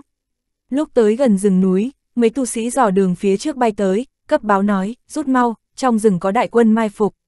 Cùng lúc đang nói, trong rừng núi phía trước đã truyền đến tiếng kèn tu tu. Nhân mã đếm không hết từ trong rừng núi sông ra, lao thẳng tới. Rút lui, quan áp lương kinh ngạc hét, đội xe vội vàng quay lại, thế nhưng mang theo nhiều đồ quân nhu như vậy sao còn chạy đi được, đại quân áp lương lập tức đoạn hậu phòng hộ. Đại quân rằng co, Quách Hiến Phúc cưới chiến mã bước ra từ trong đám đông, tay cầm trường thương, diếu võ dương oai nói, mông soái đã đoán chắc viện binh đi gấp, quân nhu chắc chắn ở phía sau, quách mỗ cung kính bồi tiếp đã lâu. Bỏ vũ khí xuống người đầu hàng, miễn cho khỏi chết. Làm gì có chuyện trong tay trương hổ chỉ có 20 vạn nhân mã, 10 vạn nhân mã quách hiến phúc dẫn đi cướp kho lương chưa cướp được lập tức lặng lẽ giả hành chạy đến huyện Giang Hạ này, nấp trên con đường đội xe lương thảo buộc phải đi qua. Hành động của bên trương hổ đã làm trước đó làm hai người liêu, từ chỉ lo nhìn chằm chằm nhân mã trương hổ bên ngoài thành ra đã sơ sót. Đối phương không nghe, không chịu đầu hàng, quan áp lương hạ lệnh hủy lương, mắt thấy bên kia bắt đầu vung đao chém tan túi lương, muốn đẩy lương thực vào vũng bùn trên mặt đất. Hai mắt quách hiến phúc muốn nứt ra, giờ lương thực chính là mệnh mạch của quân Yến, nếu không gã tốn nhiều công phu như vậy làm gì, thế là gã gầm thét, giết. Trên bình nguyên giang hạ lập tức vang lên tiếng chém giết sung trời, nhân mã hai bên va chạm với nhau. Mười vạn tinh nhuệ quân Yến đối đầu với hai vạn binh vận lương, kết cục không khó đoán trước, quân vận lượng thảm bại, sau khi ném một đống thi thể, mấy ngàn lính vận lương chạy tứ tán. Số lương thực chuẩn bị trong 10 ngày cho 300 ngàn nhân mã viện binh thanh cư gần như đều rơi vào tay Quách Hiến Phúc, sau khi hơi thu dọn xong, Quách Hiến Phúc áp quân lương lui về. Đồng thời, một con kim xí vút lên không trung cấp báo cho bên Trương Hổ, kết cục không khó đoán trước. Trong phủ tổng đốc tuyến phòng ngự trên sông nghị luận ầm ý, chiến lược đại đô đốc La Chiếu vừa mới sắp xếp tới, muốn bên này từ bỏ tuyến phòng ngự trên sông, chấp hành chiến lược mới. Cứ từ bỏ tuyến phòng ngự trên sông như vậy không khỏi quá đáng tiếc. Đại nhân, đại đô đốc không biết chiến cuộc bên này, không biết chúng ta đã đoạt lại phòng tuyến hồ khẩu, nếu biết, ắt sẽ không bảo chúng ta từ bỏ phòng tuyến, sao không đợi đại đô đốc nhận được chiến báo bên này trả lời lại rồi hắn quyết định. Đúng vậy, ngăn cách chiến sự ngoài quốc cảnh là thiên chức của chúng ta. Một khi chiến trường di rời vào trong nước, bách tính đại tống ta sẽ gặp nạn. Đối mặt với những lời khuyên can, ô quần liệt ngồi sau thư án nhìn mệnh lệnh mới bày trên án cũng hơi do dự. Chính lúc này, bên ngoài truyền đến tiếng hét báo. Một tiểu tướng vội vàng chạy vào bẩm báo, đại nhân, lương thảo áp tải đến phòng tuyến hồ khẩu đã bị cướp ở huyện Giang Hạ rồi. Ô quần liệt bật dậy, cả giận nói, ai cướp? Tiểu tướng kia nói, tả thống lĩnh trung quân Quách Hiến Phúc dưới trướng Trương Hổ đích thân dẫn 10 vạn nhân mã trí mai phục cướp lương ở huyện Giang Hạ. Trương Hổ còn 10 vạn nhân mã mai phục ở huyện Giang Hạ. Ô quần liệt giật mình, lúc này cuối cùng ý thức được đã trúng kế, không phải phòng tuyến hồ khẩu không đủ binh lực bị bên này công phá mà địch giả bại, cố ý tặng phòng tuyến hồ khẩu cho bọn hắn, dù bên này không thể không tiếp tục áp tải lương thực mang đến cho tiền tuyến. Đám tướng lĩnh trong đường cũng kinh hãi đứng dậy, thức được tính nghiêm trọng của vấn đề, không ngờ đối phương vòng một vòng lớn, không tiếc đem phòng tuyến hồ khẩu vừa lấy được về tay làm mồi để đoạt chút lương thực như vậy.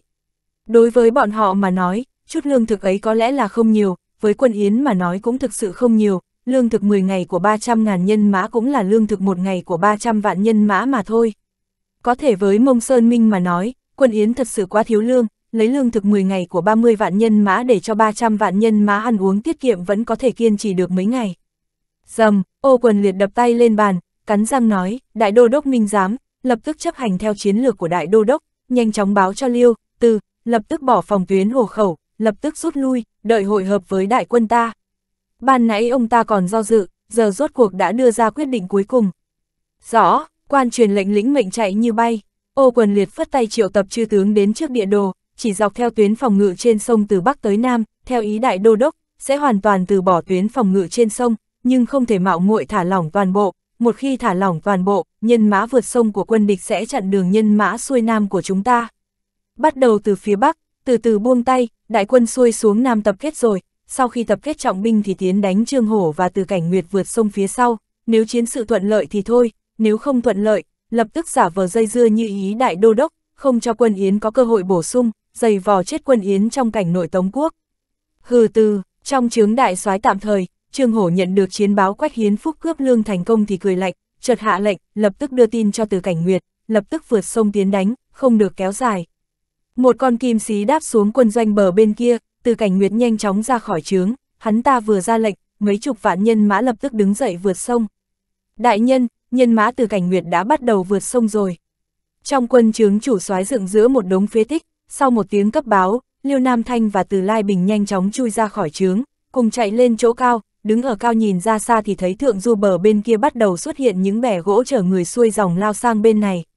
Liêu Nam Thanh trầm giọng nói, từ huynh, huynh dẫn 20 vạn nhân mã phòng thủ phía sau, để phòng trương hổ đánh lén ở sau, ta dẫn những người còn lại chống cự nhân mã từ cảnh nguyệt đổ bộ. Hai chúng ta cùng chống đỡ hai bên, nếu như có bên nào tình hình bất ổn thì lập tức hỗ trợ lẫn nhau.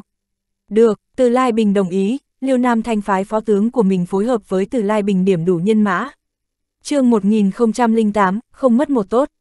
Không còn cách nào khác, trên tay từ Lai Bình đã không còn đủ 20 vạn nhân mã, dùng nhân mã của Liêu Nam Thanh gã, dĩ nhiên phải có người bên gã phối hợp. Rất nhanh, hơn 400 ngàn nhân mã chia làm hai bộ, phòng ngự trước sau. Không đợi bao lâu, bên bờ sông đã là tiếng chém giết rung trời, nhân mã từ cảnh Nguyệt Cường Công, có thể nói là Cường Công tốt hơn nhiều so với nhân mã của Trương Hổ, thiết bị ném đá trên bờ đều đã bị Trương Hổ phá hỏng hết rồi. Trên bờ, trên sông, nhân mã hai bên dùng mưa tên bắn nhau, hai bên không ngừng có một lượng lớn binh lính ngã xuống. Mưa tên hơi dừng lại, tu sĩ hai bên một lần nữa xông ra, liều mạng chém giết trên sông. Nhân mã từ cảnh nguyệt bất chấp mọi giá sông lên bờ, vừa vọt lên bờ thì bị quân tống chém chết nhưng nhân mã trên bè gỗ cập bờ vẫn kiên trì sông lên. Từ Lai Bình phụ trách phòng ngự phía sau đứng trên cao nhìn ra xa, không ngoài dự liệu, quả nhiên Trương Hổ muốn giáo công với từ cảnh nguyệt, có thể thấy đại quân Trương Hổ đang chậm rãi tiến về phía này. Đợi lúc gã ta nhìn rõ đội hình đại quân Trương Hổ, hai mắt liền mở to ra, vẻ mặt co giật dữ dội.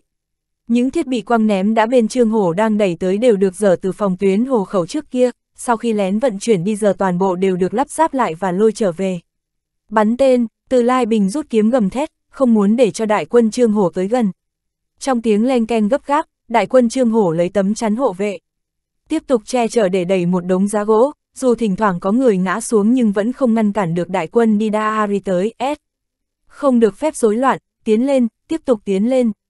Có tướng lĩnh quát lớn, bất chấp có người chúng tên ngã xuống, tiếp tục ép đại quân duy trì trận hình tiến lên. Vừa đến khoảng cách thích hợp, bên này đã đốt không ít quả cầu lửa, chính là thứ lúc trước từ Lai Bình dùng để đánh nhân mã Trương Hổ vượt sông, sau đó từ Lai Bình bị bại rút lui quá mức vội vàng, các loại vật tư đều để lại cho Trương Hổ, lúc này bị Trương Hổ lấy đồ của người trả lại cho người. Phóng, lệnh vừa đưa ra, tay ném bằng gỗ bắt đầu bắn ra, từng quả cầu lửa bay về phía đối diện. Trong trận doanh đối phương ánh lửa bắn ra bốn phía, sau khi hủ dầu trong quả cầu lửa bị đập nát thì lửa vấy ra ngoài, mang theo đó là những người lửa bị dầu hỏa bắn ra thiêu đốt chạy lộn xộn, tiếng kêu thê lương thảm thiết không dứt bên tai. Thiết bị phòng ngự của phòng tuyến trước đó đã bị Trương Hổ phá sạch, nhân mã quân tống muốn tìm nơi tránh né cũng khó khiến bên này nhanh chóng rơi vào biển lửa. Còn có cả máy ném đá ném ra từng hòn đá lớn từ trên trời giáng xuống, ầm ầm rơi vào trận doanh quân tống, ném ra những tiếng kêu thảm thiết không ngừng. Phòng tuyến từ Lai Bình chỉ huy lập tức đại loạn, trận thế cung tiến bỗng nhiên bị phá, giờ ngược lại lại là bên trương hổ mưa tên phản công. Đám người rơi vào biển lửa và công kích đá rơi không để ý đến việc dùng tấm chắn phòng hộ mưa tên từ trên trời giáng xuống, nhân mã lần lượt ngã xuống. Cứu ta với, có người chúng tên ngã xuống đất, khó mà động đậy, mắt thấy từng quả cầu lửa từ trên trời giáng xuống, sợ hãi cầu cứu, lại bị một tảng đá lớn bay xuống đập mạnh thành một đống huyết nhục tung tóe. Tu sĩ bên này lao ra, muốn phá hỏng lợi khí của đối phương nhưng lại bị vô số mưa tên áp chế. Từ Lai Bình quay đầu nhìn nhân mã không ngừng sông lên tuyến phòng ngự trên sông bên bờ sông, lại quay đầu nhìn cảnh tượng trước mắt, mặt mũi tràn đầy bi phẫn, trong hốc mắt ngấn lệ. Gã ta biết bên này đã trúng kế, bên này đã xong đời, biết phòng tuyến không thể nào giữ vững được nữa. Gã ta cũng biết không thể để đối phương dựa vào lợi khí công kích được nữa, rút kiếm giận dữ hết, xông lên. Giết, quân tống lập tức xông ra từ rối loạn, giơ tấm chắn cường công. Trương Hổ ra lệnh một tiếng, trận chắn phía trước hoàn toàn rút ra sau, mở ra tuyến đầu, cung tiễn thủ tuyến đầu lập tức đổi sang bắn tầm thấp, cung tiễn thủ phía sau vẫn bắn lên cao. Từ đại nhân, một người tu sĩ kinh hô kéo theo mấy tu sĩ khác cùng hét lên. Từ Lai Bình đã cướp một tấm chắn, thân là chủ tướng lại cầm kiếm hộ tống các tướng sĩ khác cùng lao đến chém giết. Một trận mưa tên từ trên không trung rơi xuống, từ Lai Bình đưa tấm chắn lên đỡ, trong tiếng len keng, mấy tướng sĩ xông lên trước đột nhiên ngã xuống, mấy mũi tên lao vun vút tới, từ Lai Bình lăn mình một cái tránh được nhưng lúc đứng lên liền bị một mũi tên bắn trúng ngực. Ngay sau đó mười mấy mũi tên bắn lung tung vào cơ thể gã ta, trong đó có một mũi tên đúng lắm găm vào một bên hốc mắt của gã ta. Từ Lai Bình miệng mũi tuôn máu ngã ra sau bị mấy tu sĩ lao tới đỡ nhanh chóng kéo lui lại. Quân Tống bất chấp cái chết lao tới đã sắp đến trước mặt, cùng tiến thủ tuyến đầu của quân Yến mau chóng lui lại, đội ngũ cầm tấm chắn lại một lần nữa tiến lên, xây dựng lại phòng ngự tấm chắn, cứng rắn chống đỡ tấn công huyết nhục của quân Tống, trường mâu phía sau tấm chắn vù vù đâm ra từ giữa những khoảng cách của tấm chắn, đâm cho từng nhóm phải ngã xuống. Trong tiếng rầm rầm, tu sĩ hộ tống của Tống quốc vào tới dùng kiếm phí phá hủy tấm chắn phòng ngự. Tu sĩ bên Yến quốc lập tức bay ra từng nhóm, huyết chiến với tu sĩ Tống quốc. Trùng sát, Trương Hổ huy kiếm gầm thét, giết, quân Yến lập tức phát động phản công toàn diện, nhân mã hai bên cùng nhau huyết chiến. Tuyến đầu của tuyến phòng ngự trên sông, một tướng linh áo giáp nhuộm đầy máu tươi chạy tới bên cạnh Liêu Nam Thanh, cất tiếng đau buồn nói, đại nhân, từ đại nhân chiến tử. Cái gì? Liêu Nam Thanh quay đầu kinh ngạc kêu lên, nhưng trong nháy mắt nhớ lại lúc sinh tiền từ Lai Bình đã phó thác vợ con trong kinh liền hét a một tiếng, một cước đá phó tướng mình cử đi phối hợp với từ Lai Bình ngã lăn trên mặt đất, cái gì?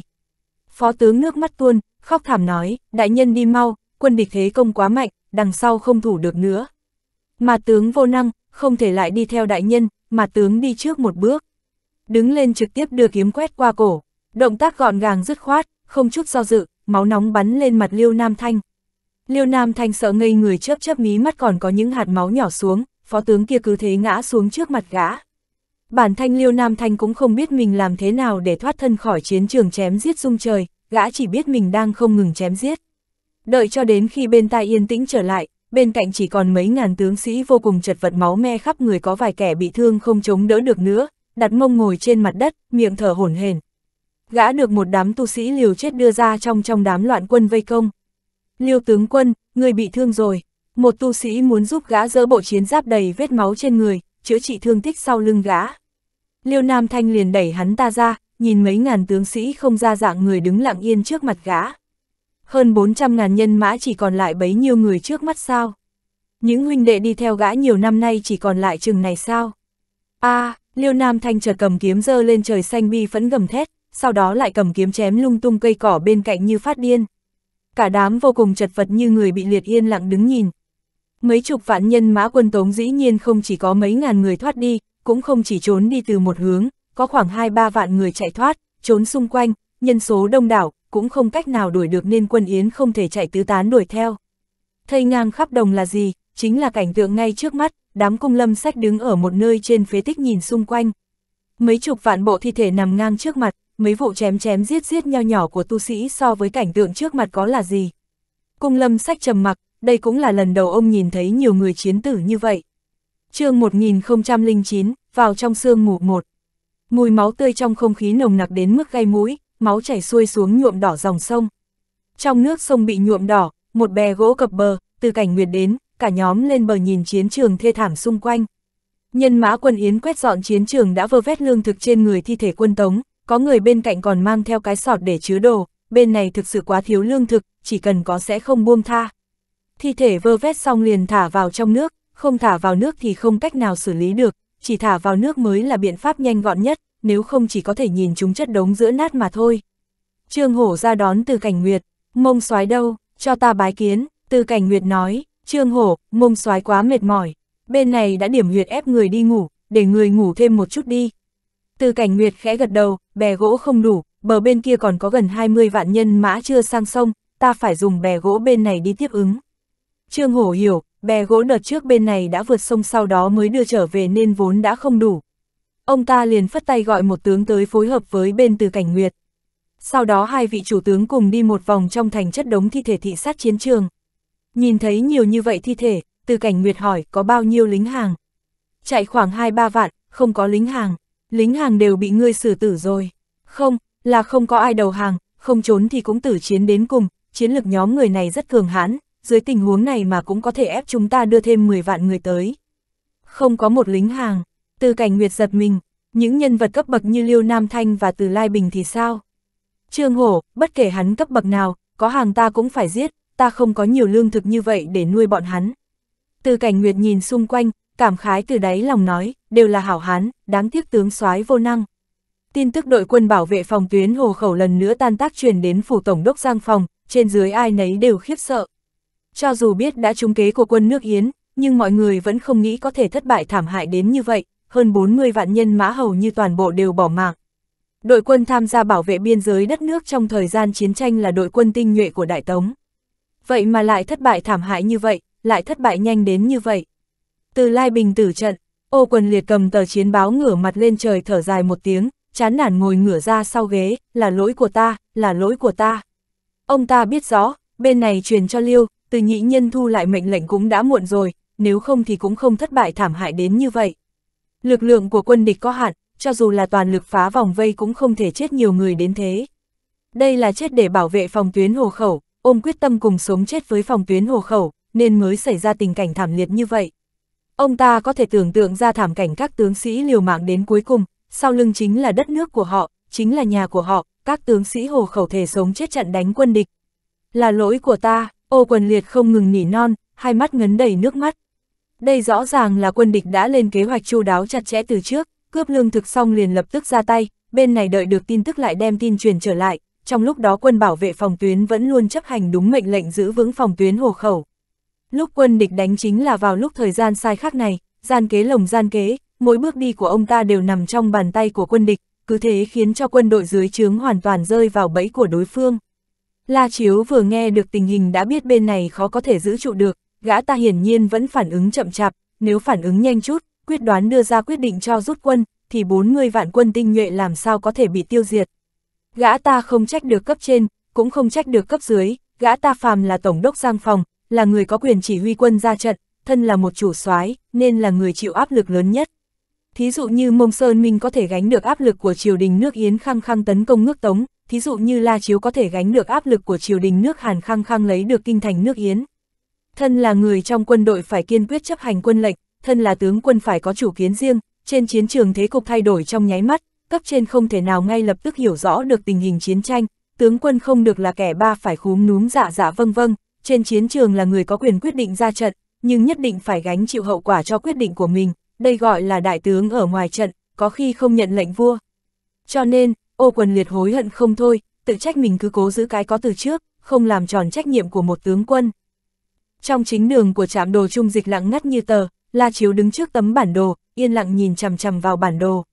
Một đám người ở phía sau lẳng lặng nhìn chằm chằm vào La Chiếu, tin phòng tuyến hồ khẩu thảm bại lại được truyền đến, 40 vạn quân tinh nhuệ nước Tống cứ thế mà tiêu tan, tâm trạng của cả đám người đều nặng nề không thôi. Đầu tiên là phòng tuyến hồ khẩu bị quân Yến tập kích bất ngờ công phá, về sau quân Yến giả vờ bị đánh bại giao phòng tuyến hồ khẩu cho quân Tống, cuối cùng quân Yến lại tấn công phòng tuyến hồ khẩu đánh quân Tống trọng thương. Quân Yến chỉ thực hiện biện pháp xung quanh phòng tuyến hồ khẩu, từ đầu đến cuối làm cho quân Tống hao tổn 60 vạn quân tinh nhuệ, còn tổn thất nhiều hơn cả quân Yến khi bị quân Tống đánh vào biên giới, hỏi làm sao tâm trạng không nặng nề cho được. Nhận được tin thua trận thảm hại, La Chiếu không than một tiếng, không oán giận ai, cũng không trách móc ai, chỉ im lặng đứng trước tấm bản đồ. Một lúc lâu sau, La Chiếu thở ra một hơi thật dài, ngữ khí bình tĩnh nói, trong tay ô quần liệt vẫn còn khoảng 140 vạn nhân mã. Đội quân trong tay Mông Sơn Minh ít nhất cũng hơn 250 vạn, không nên tiếp tục gắng gượng chống chọi nữa. Truyền lệnh cho ô quần liệt, từ bỏ ngạnh binh, toàn bộ binh lính giang phòng chuyển thành dây dưa gây hỗn loạn, tiêu hao quân yến. Trước kia phòng tuyến hồ khẩu bị công phá, gã ta nhượng bộ, khiến ô quần liệt từ bỏ phòng tuyến, dùng ưu thế tuyệt đối tiêu diệt đội quân vượt sông, không dây dưa thêm nữa. Tin tức 40 vạn quân tinh nhuệ tổn thất truyền đến, gã ta đã ý thức được, ô quần liệt rất khó là đối thủ của mông Sơn Minh, cộng thêm lại tổn thất nhiều nhân mã như vậy, nếu gã ta quả quyết nhượng bộ một lần nữa thì sẽ lại khiến ô quần liệt từ bỏ việc tấn công, trực tiếp áp dụng sách lược kéo dài cái chết của quân Yến. Gã ta không có biện pháp tức thời nắm giữ tình hình chiến tranh, suy nghĩ đến việc đối kháng thực lực của ô quần liệt và mông Sơn Minh, gã ta chỉ có thể chọn ra chiến lược ổn thỏa nhất. Văn Du lược lặng im, sau đó nhắc nhở, đại đô đốc, loại sách lược không chống cự này sẽ bị coi là mềm yếu, sẽ gặp phải sự chỉ trích cực lớn của người trong triều đình. La Chiếu đứng đối diện bản đồ, tinh thần bình tĩnh lạ thường, từ trận chiến có thể nhìn ra được Mông Sơn Minh không hổ là một đại danh tướng, vẻn vẹn cả cái phòng tuyến hồ khẩu bị hắn đánh ra đủ kiểu như vậy. Có thể tưởng tượng, nếu trực tiếp giao chiến thì bọn ngô quần liệt căn bản không phải là đối thủ của hắn. Nhưng tiếc là ta không thể lập tức cưỡi phi cầm đến trợ giúp Giang Phòng. Ta đi rồi, ở đây không có ai có thể gánh được áp lực của triều đình. Vì vậy ta tình nguyện, chỉ cần cuối cùng có thể thắng, chỉ cần thắng lợi cuối cùng thuộc về Đại Tống, phải trả một cái giá lớn một chút cũng là điều nên làm. chương 1010, vào trong sương mù 2. Mặc dù tin tức nước Yến công phá thành công phòng tuyến nước Tống đã được truyền khắp kinh thành nước Yến, nhưng lại không có bất kỳ hào khí vui mừng nào. Giấy không thể bọc được lửa, quân Tống cách kinh thành nước Yến càng ngày càng gần, tin tức đã không thể giấu giếm được nữa. Quân Yến công phá phòng tuyến quân Tống thì sao? Kinh đô nước Yến sắp thất thủ rồi, Thương Chiêu Tông vì lợi ích của mình mà không còn để ý đến lợi ích của Đại Yến nữa. Dưới sự gieo rắc và khiêu khích của kẻ có dã tâm, thái độ của bách tính trong kinh thành đã thay đổi, hầu như đều đang chửi bới Thương Chiêu Tông và Mông Sơn Minh, mắng hai ông là quốc tặc, hận không thể nghiền xương hai kẻ giặc thành cho. Tin chiến thắng, một tiếng yếu ớt từ bên ngoài truyền đến ngự thư phòng, một tên thái giám biết rõ không khí hôm nay, ba chữ in chiến thắng hắn không dám nói lớn tiếng, cẩn thận từng ly từng tí nâng tin chiến thắng tiến vào. Ánh mắt của đồng mạch, Thương Vĩnh Trung, Cao Kiến Thành đều hướng về phía tờ tin báo mà Thương Kiến Hùng đang xem. Mấy tên đệ tử tam đại phái trong ngự thư phòng phụ trách trông coi thờ ơ đứng nhìn, từ khi Thương Kiến Hùng tự tiện điều động đội quân phía Bắc, tam đại phái đã cư xử như vậy rồi. Thương Kiến Hùng không có chút biểu cảm nào với nội dung trong tin chiến thắng, đưa cho đồng mạch ba người họ xem. Ba người xem xong biết được, đại quân công tống lại tiêu diệt gần 40 vạn quân tinh nhuệ của đối phương. Theo lý thuyết, đây là thắng lợi thật đáng mừng, nhưng trong ngự thư phòng không một người nào cảm thấy vui mừng cho được. Thương viễn trung lạnh lùng hừ một tiếng, chỉ là lệnh bắt người liên tục đến, lúc vượt sông mạnh mẽ tấn công, buộc quân triều đình xung phong, tâm hắn đáng chết. Đúng lúc này, trưởng môn linh kiếm Sơn Mạnh Tuyên xuất hiện ngoài cửa, không mời tự vào. Sau khi đứng trong ngự thư phòng, Mạnh Tuyên đưa ánh mắt lạnh lùng đảo qua khắp mọi người, ánh mắt cuối cùng dừng lại trên người thương kiến hùng, bệ hạ, đại quân công tống đã chiến đấu quên mình, có công có thưởng, sao bệ hạ vẫn chưa hạ ý chỉ sắc phong hầu tước cho hai vị công thần. Thương Kiến Hùng trầm giọng nói, chiến đấu quên mình, đẩy nhân mã triều đình lên trước chịu chết, chỉ là vượt một con sông, trong chốc lát liền hao tổn 20 vạn quân của triều đình, quân chư hầu lại núp ở phía sau bảo toàn thực lực. Người chết là binh lính của triều đình, cái được dùng là mạng của tướng sĩ của triều đình, nhưng kẻ lập công được thưởng lại là người của nước chư hầu, thiên hạ có đạo lý như vậy sao? Mạnh tuyên mặt không chút biểu cảm, bệ hạ quá xúc động rồi, binh lính của triều đình hay binh lính của chư hầu gì, nói cho cùng cũng đều là tướng sĩ của Đại Yến, các tướng sĩ nơi tiền phương chém giết đẫm máu, đem phần thưởng khích lệ tinh thần, xin bệ hạ hãy hạ chỉ. Mạnh tuyên kìm nén bực tức trong lòng, giải thích không thông, mà hắn cũng không muốn phải nói nhiều lời vô ích nên trực tiếp bước bách, cung lâm sách ở tiền tuyến nhưng khi bọn họ đưa ra lời bảo đảm nội trong 3 ngày sẽ đưa mọi thứ về nguyên trạng, Mạnh tuyên ở hậu phương chấn thủ, nếu ngay cả chút chuyện này cũng làm không xong, chẳng phải là đang hủy đi lời hứa của cung lâm sách hay sao? Bây giờ chính là lúc đồng tâm hiệp lực, bị bắt buộc không thể làm gì khác, thương kiến hùng cuối cùng cũng hạ chỉ phong hầu. Phong lôi đường là nơi quan trọng bàn việc quân cơ của nước tề, người không có phận sự không được tự tiện xông vào. Thượng tướng quân Hồ Duyên vô hận chắp tay canh giữ trước một tấm bản đồ, khi thì nhìn chằm chằm vào bản đồ và suy nghĩ, khi thì đi đi lại lại trước tấm bản đồ. Nơi mà ông ta nhìn chằm chằm vào chính là nước Yến, bản đồ sông Đông vực cách quân Tống khá xa, gần đây ông ta hầu như luôn ở đây, tiện lúc chờ tin tức tình hình chiến tranh bên kia. Biết rõ ông ta đàn tập trung cao độ theo dõi trận chiến này, một tướng sau khi có được tình hình chiến tranh mới nhất liền nhanh chóng bước vào, dâng trình báo, thượng tướng quân, phòng tuyến hồ khẩu quân Tống thảm bại, quân lương viện trợ cho hồ khẩu bị phục binh quân Yến cướp rồi, đội quân coi giữ bị quân Yến nội ngoại giáp công, 40 vạn nhân mã bị giết sạch. Hồ Duyên vô hận cầm chiến báo trên tay, sau khi xem xét kỹ càng, thổn thức lắc đầu nói, đây là tử chiến không lùi, đáng tiếc, khinh địch rồi. Rồi lại ngẩng đầu lên hỏi, nhưng có biết rõ là đội quân đánh úp làm sao qua sông trước khi quân Yến vượt sông không? Tướng lĩnh kia trả lời, trước mắt còn không biết tình hình, nhưng sớm muộn cũng sẽ biết thôi ạ. À. Hồ Duyên vô hận phất phất tay, ý bảo cho tướng lĩnh kia lui, tự mình lại đứng trước bản đồ suy nghĩ. Ông ta gần đây đang suy nghĩ việc này, phòng tuyến quân Tống bị công phá một điểm, toàn tuyến sẽ buông lỏng, quân bảo vệ hồ khẩu bị thảm bại như vậy, cũng không phải ngoài ý muốn, ngược lại là tốt quân mai phục trước khi vượt sông khiến cho ông ta vô cùng hứng thú, trạng thái phòng thủ của quân Tống kín đáo như vậy, quân Yến làm thế nào mà có thể đem một lượng binh mã lớn như thế ẩn núp. Người ta đều nói, Yến Sơn Minh, tề vô hận. Nhưng ông ta lại không hiểu Mông Sơn Minh tại sao làm được điều đó, căn cứ vào tình báo, quân Tống đến nay vẫn cứ hổ đồ, đến nay như lọt vào trong sương mù thất bại. Hai người nổi danh khắp thiên hạ, thực sự không hiểu được chiến pháp của Mông Sơn Minh, ngay cả lúc đi ngủ ông ta cũng cảm thấy bất an, cứ lật qua lật lại suy nghĩ việc này. Thân là một đại danh tướng mà lại không hiểu được chiến pháp của tướng lĩnh nước người, hơn nữa ngay cả sau khi sự việc xảy ra cũng không hiểu được tại sao, ngay cả hoàng đế nước Tề Hạo Vân đồ hỏi tới sự tình, ông ta cũng không rõ một hai ba ra làm sao, khiến ông ta làm sao có thể an tâm. Nghĩ đến ánh mắt lạ lùng mà Hạo Vân đầu nhìn mình, và cả vẻ cứ như đang muốn nói nhưng lại thôi, ông ta có thể đoán được đối phương đang muốn nói cái gì, chỉ là để ý sắc mặt ông ta ngại mà không nói ra thôi, khiến ông ta trong lòng rất khó chịu. Mảnh vải trướng nhếch lên, là Đại An và một tu sĩ từ trong lều vải đi ra. Một đám người chờ tại cửa vào, Trương Hổ không nhịn được hỏi một câu, Đại An, mông soái thế nào rồi? La Đại An gật đầu, mông soái tỉnh rồi, mời chư vị vào trong. Khi đi vào lều, cùng lâm sách hỏi một vài đệ tử vừa đi ra, ông ấy thế nào rồi? Đệ tử kia đáp, không có gì đáng ngại nữa, vừa mới ăn viên linh đan bổ khí huyết. Cung lâm sách khẽ gật đầu, tiến vào trong lều. Từ cảnh Nguyệt dừng bước ở bên cạnh La Đại Bình, hỏi một tiếng, cậu là trưởng tử của La An. Trước đây không lâu Trương Hổ cũng nói với cậu ta như vậy.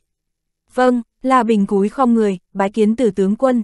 Từ cảnh Nguyệt quay đầu vẫy tay, một tướng đi tới dâng lên một thanh bảo kiếm, từ cảnh Nguyệt nhận đến tay rồi lại đưa cho La Đại Bình, ta với phụ thân cậu là bằng hữu, cây kiếm này rất tốt, cậu giữ ở bên người dùng phòng thân đi. Tạ ơn ý tốt của tướng quân, tướng quân chắc chưa biết quy tắc của sư phụ ta, không cho phép các đệ tử tùy tiện nhận quà của người khác. La Đại An khéo léo từ chối, nhẹ nhàng dùng tay đẩy kiếm trả lại, thái độ đúng mực, không kiêu ngạo không xiểm nịnh.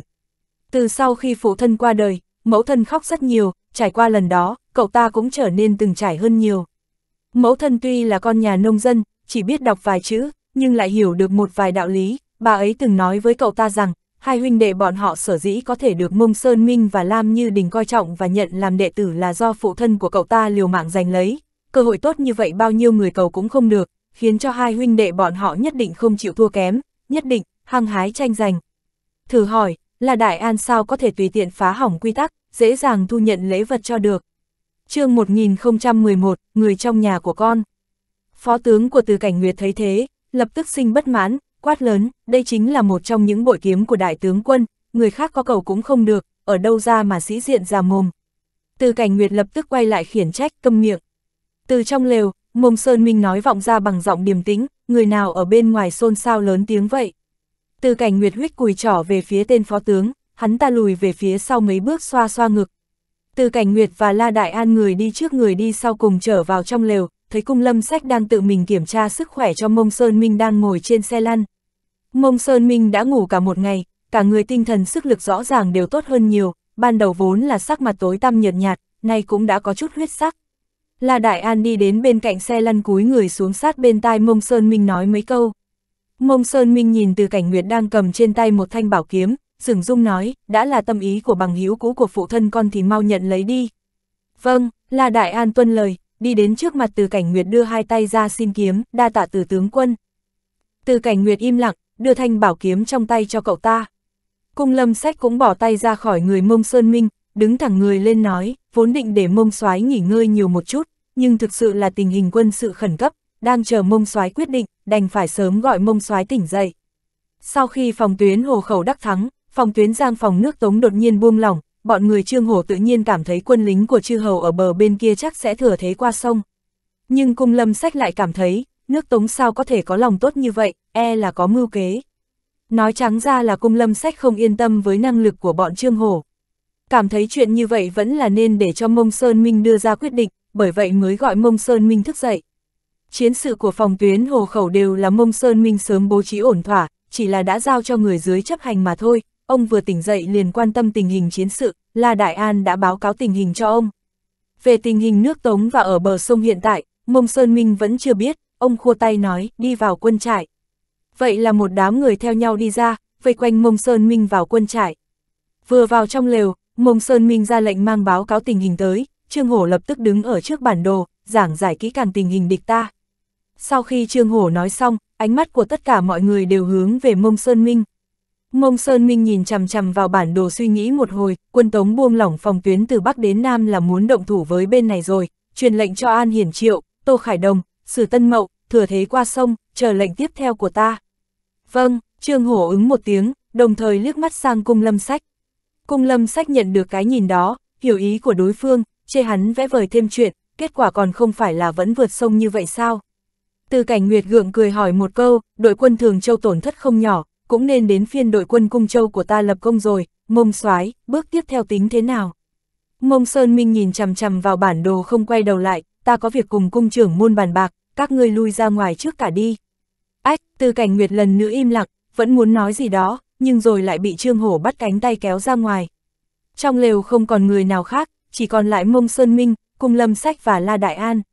Mông Sơn Minh vẫn cứ nhìn chằm chằm vào bản đồ, Cung Lâm Sách đợi một hồi rồi phá vỡ sự yên tĩnh, Mông Soái có điều gì muốn chỉ giáo. Mông Sơn Minh lấy lại tinh thần, là Đại An đẩy người ông quay lại đối mặt với Cung Lâm Sách. Mông Sơn Minh, ta có một kế hoạch bí mật, cần tam đại phái điều động tu sĩ đáng tin cậy để phối hợp, không biết ý của cung trưởng môn như thế nào.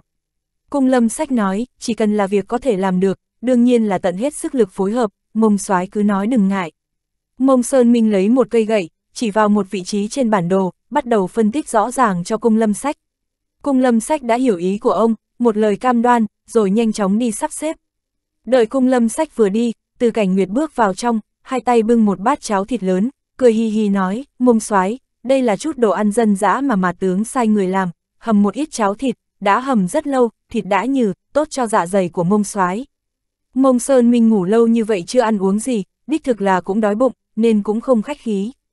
Thừa lúc Mông Sơn Minh ăn uống, từ cảnh nguyệt ở bên cạnh làm phiền, nói gần nói xa hy vọng đội quân Cung Châu cũng lập công các loại, quan trọng nhất là, muốn hỏi xem hai tốp lương thực mà đội quân của Trương Hổ lấy được thì phân phối thế nào, liên tục tỏ ý rằng số lương thực trong tay mình đích thực là cũng không còn nhiều nữa. Mông Sơn Minh chậm rãi húp cháo, xem như không nghe thấy gì, từ cảnh nguyệt ngại ngùng, phát hiện ra đã tự mình làm mình mất mặt. Thay người khác làm thống soái như vậy không hợp lý, từ cảnh nguyệt rất có thể đập tay xuống bàn nhưng đối mặt với mông sơn minh bà ta thực sự là không dám làm vậy. Đương nhiên, cho dù thay người khác bà ta cũng sẽ không nịnh nọt thấp hèn như vậy. Lập tức thông báo đến tất cả quân lính, ngừng tập kết, những binh lính đã rút lui khỏi phòng tuyến lập tức quay trở về. Mệnh lệnh mới của La Chiếu đã đến, trong phủ tổng đốc ở đê sông, nhìn thấy mệnh lệnh mới, ô quần liệt liền hạ lệnh. Các vị tướng trong phòng nhìn nhau, một tướng hỏi cớ gì? Chẳng lẽ muốn quay lại trận hay sao? Sử Tân Mậu đã qua sông rồi, hiện tại muốn về trận cũng trận không nổi nữa. Ô quần liệt đưa lệnh của La Chiếu xuống cho mọi người cùng truyền nhau xem. Sau khi xem xong, mọi người đã hiểu, đê sông vẫn là nơi bị bỏ quên, chỉ là trước đây kế hoạch tập kết binh lực có ưu thế tiêu diệt đội quân qua sông của địch bị hủy bỏ, trực tiếp nhảy đến bước cuối cùng, dây dưa quấy rối, khiến quân địch tiêu hao đến chết. Có người xem mệnh lệnh xong liền thở dài, như vậy, sau khi buông lỏng phòng tuyến rồi, lại không có bất cứ chống cự nào, triều đình bên kia sợ là khó có thể nói rõ. Ô quần liệt nói, đây không phải là việc chúng ta phải lo lắng, đại đô đốc đã hạ lệnh như vậy, triều đình bên kia đã có đại đô đốc lo liệu, điều chúng ta cần làm là giày vò nước Yến, làm bọn chúng hao tổn đến chết. Từ giờ trở đi, tất cả các quân cứ nhằm vào quân Yến phía sau mà cắn, địch tiến ta lui, địch lui ta nhiễu, không để cho quân địch có cơ hội thu hoạch lương thảo, ta xem mông sơn minh hắn có thể kiên trì được bao lâu. Lại có người hỏi một câu, đội quân của Trương Hổ do ai trông chừng? Mọi người hiểu ý của hắn, đội quân của Trương Hổ trên thực tế đã trở thành đội quân trung tâm của quân tiến về phía đông của nước Yến, Mông Sơn Minh đang ở bên đó. Liên tiếp hai trận, bên này đã lĩnh giáo sự lợi hại của Mông Sơn Minh. Đi canh chừng Mông Sơn Minh, chuyện này có ít nhiều khiếp đảm. Hai má ô quần liệt căng cứng một lúc, trầm giọng nói, đích thân đội quân của ta sẽ đi, ta không tin như vậy còn không thể nhìn ta sự việc, báo cho tất cả các bộ binh biết, bố trí trinh thám rộng rãi, theo dõi sát sao mục tiêu và hướng đi của tất cả các đội quân, đại quân duy trì khoảng cách với mục tiêu, cẩn thận phòng bị sập bẫy. Chẳng những lên kế hoạch đối với bố trí quân đội ở bờ sông, làm ôn thỏa để đạt được mục đích, La Chiếu cũng đã thuyết phục được tam đại phái, mà độ ủng hộ của Hoàng đế nước Tống đối với kế hoạch này cũng khá lớn, gánh vác áp lực và chỉ trích của người trong triều, nước Tống bắt đầu làm theo một trang sách lược khác của La Chiếu. chương 1012, cuối cùng, Mông Sơn Minh cũng đã hạ thủ đoạn ngoan độc. 1. Sau khi tính toán kỳ hạn sử dụng dài nhất của lương thảo nước Yến, trong thành trì và thôn trang cách chiến khu một phạm vi nhất định, toàn bộ bách tính đều phải di tản lùi về phía sau, mang đi tất cả đồ ăn, của cải tài sản, tiêu hủy tất cả cây nông nghiệp, tình nguyện giúp nước Tống tạo thành hiện trường tổn thất, cũng hạ quyết tâm không để lại cho quân Yến một chút lương thực nào. Nhất thời không biết bao nhiêu dân chúng khóc suốt mướt bị ép xa xứ, rất nhiều người không phải là người giàu có gì, phải trồng một ít hoa màu sống qua ngày, sau khi rời khỏi nơi này, cái ăn đều trở thành vấn đề, những ngày tháng sau này nghĩ tới thôi cũng biết khó khăn thế nào. Thế nhưng không còn cách nào khác, dưới thế lực lớn, những bách tính bình thường này không có quyền làm chủ. Năm lộ binh mã của quân Yến tất cả đã vượt sông, tiến vào trong lãnh thổ nước Tống. Đồng thời, động tĩnh bất thường của quân Tống bên này cũng nhanh chóng bị Mông Sơn Minh nhanh chóng biết được. Trận chiến lớn như vậy, hai bên đều muốn phái một lượng tám tử sang bên đối phương, tình hình bất thường lớn như vậy, không thể giấu được tai mắt của thám tử. Cái đuôi của đội quân ở đê sông nước Tống bám theo quấy rối, lại liên hệ với bách tính di tản toàn bộ, rõ ràng là muốn hao tổn chết quân Yến. Tin tức từ các lộ truyền đến, tình hình không ổn, hào khí trong quân trại hơi bị trầm xuống, quân Tống là đang muốn quân Yến hao tổn chết dần hết mòn, hết lần này tới lần khác uy hiếp quân Yến. La Chiếu đã thay đổi chiến lược, tên tiểu tử này coi như không hồ đồ.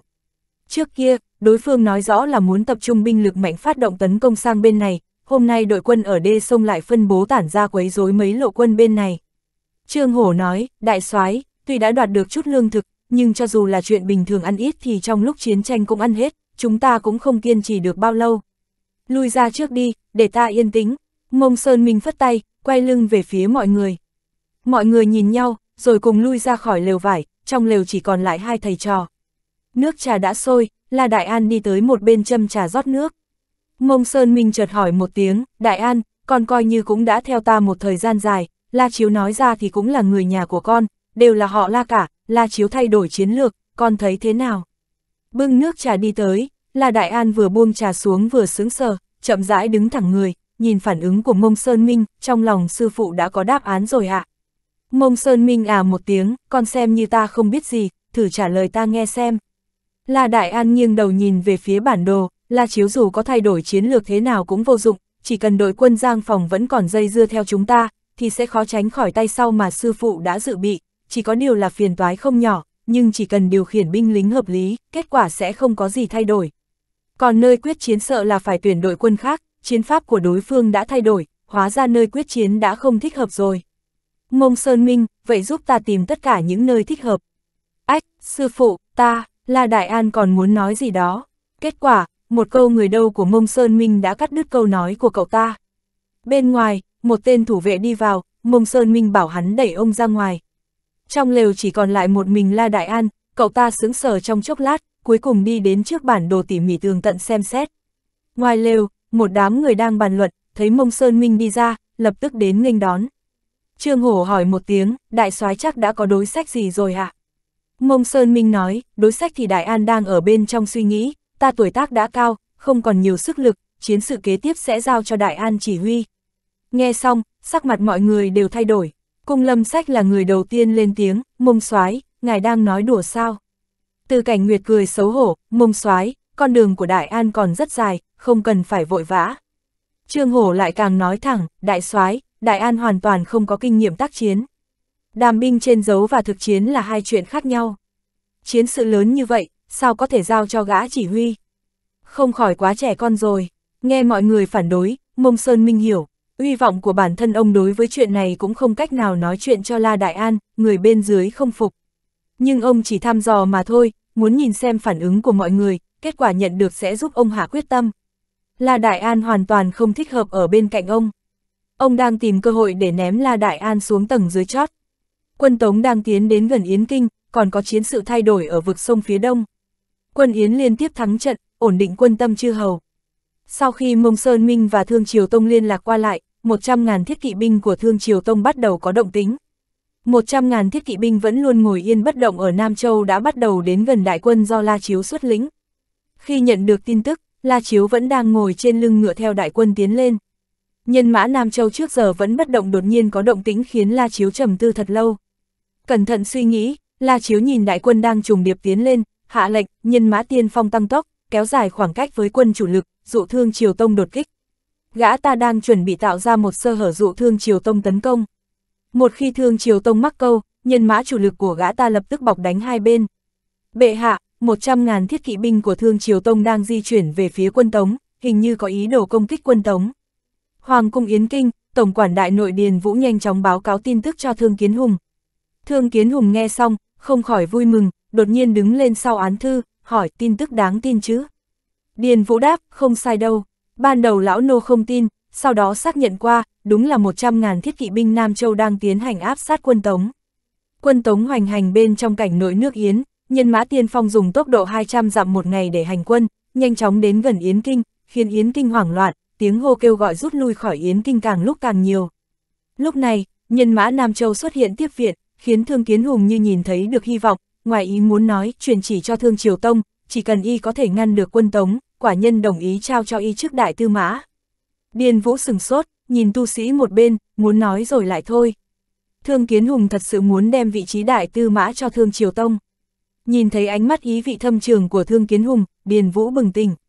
Đây chỉ là cổ vũ cho Thương Triều Tông, về sau có thật sự cho hay không, còn sợ trong triều không có người đứng ra tìm cớ ngăn cản sao.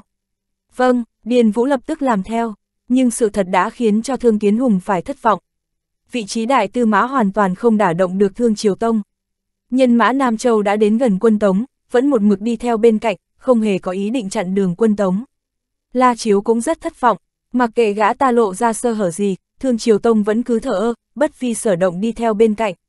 Cảm giác này khiến La Chiếu rất khó chịu, quân Tống giống như một tảng mỡ dày, còn Thương Triều Tông là một con sói đói, vẫn theo bên cạnh nhìn chằm chằm, nhưng qua lại như làn gió, khiến ngươi không thể làm gì được.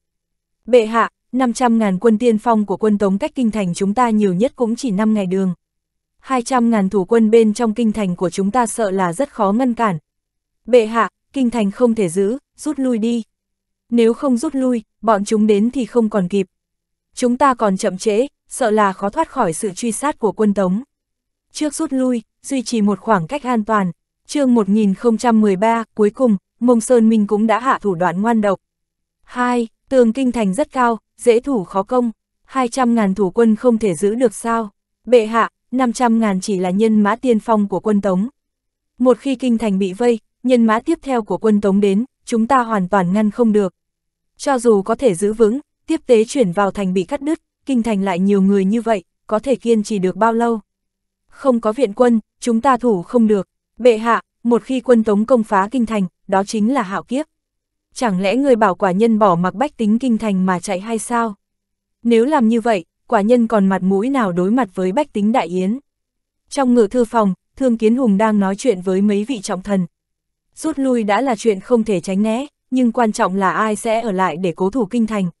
Bọn họ không thể một hành động bảo vệ nào cũng không làm, đã trực tiếp chắp tay dâng yến kinh cho quân tống. Nếu làm như vậy, Thương Kiến Hùng đừng làm hoàng đế nữa, lại còn bị chết chìm trong nước bọt.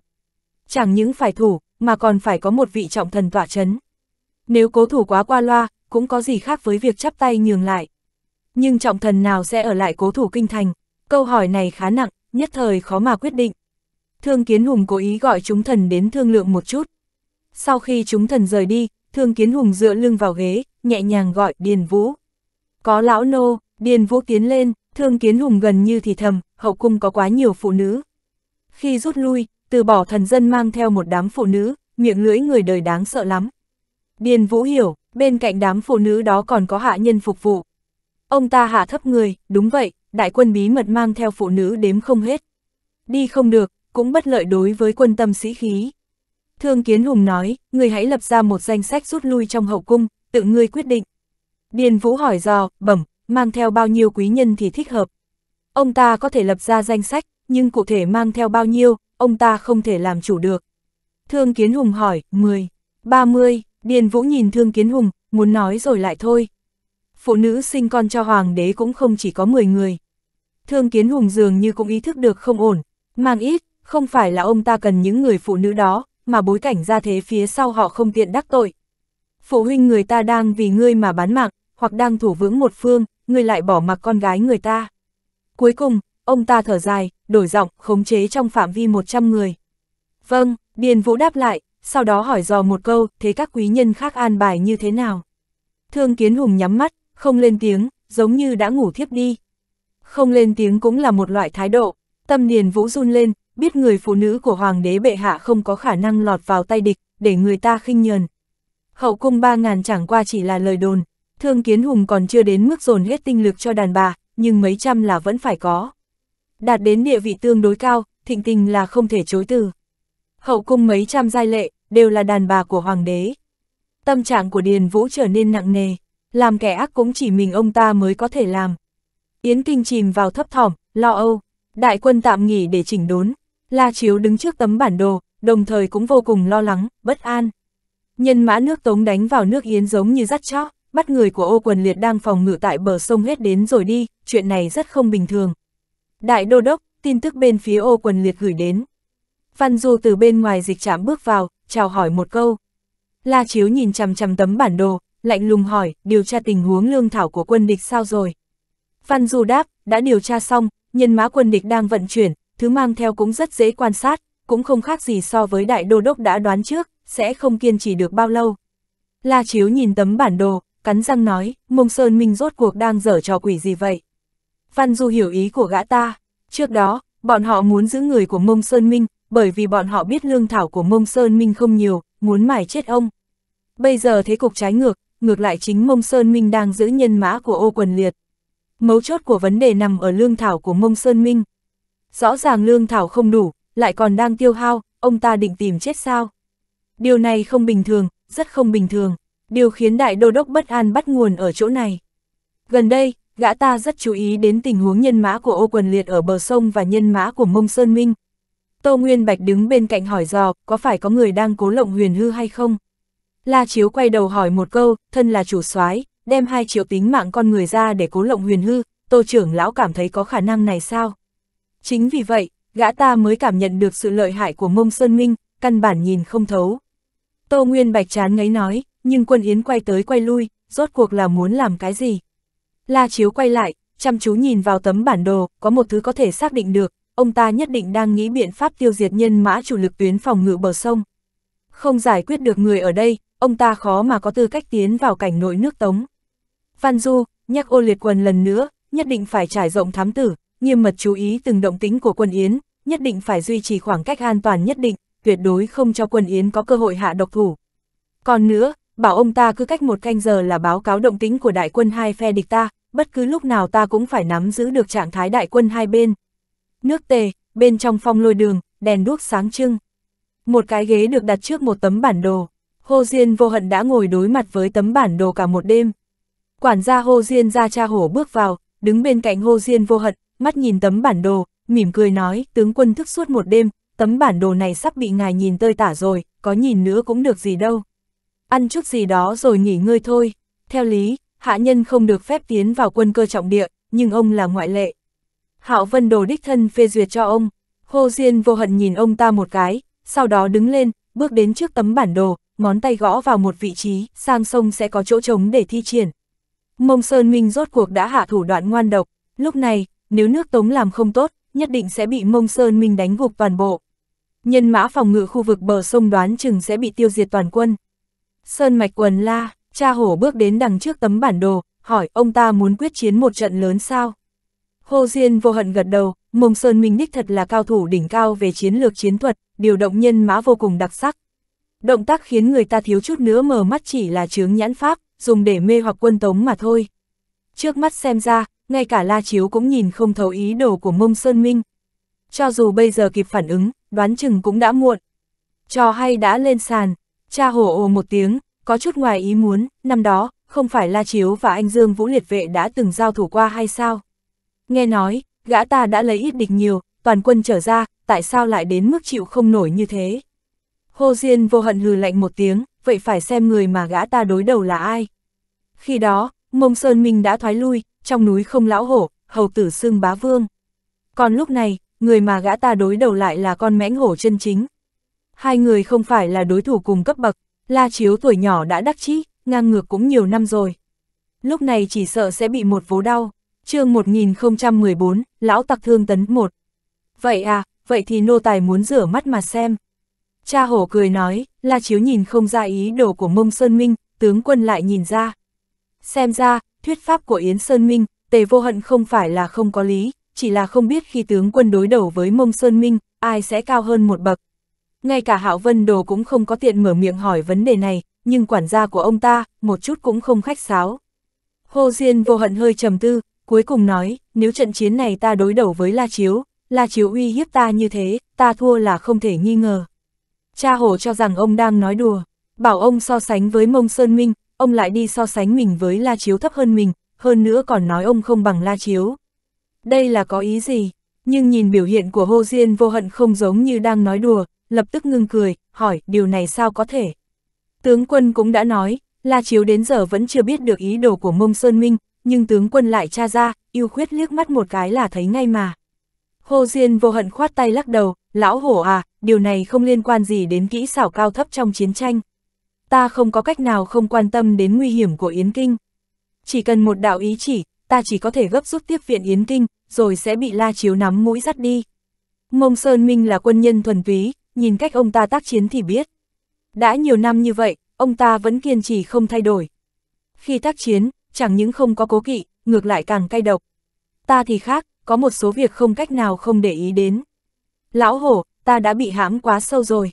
Hai, khẽ than một tiếng, ông quay người bước ra, nhìn theo bóng lưng hô Diên vô hận rời đi, cha hổ như có điều suy nghĩ, đại khái hiểu ý của chủ nhân. Không cần phải nói, ví dụ như đủ loại liên lụy trong mối quan hệ thông gia hoàng thất. Bình minh nắng sớm, đại quân nước Tống hỗn loạn, một lần nữa chỉnh đốn nhân mã, chuẩn bị lên đường. Văn Du đến, có tình huống mới sao? Bên ngoài đình viện của một gian nhà dân, thấy Văn Du cầm tin tình báo trong tay, một trong ba vị trưởng lão đang nói chuyện là Thường Phi lên tiếng hỏi.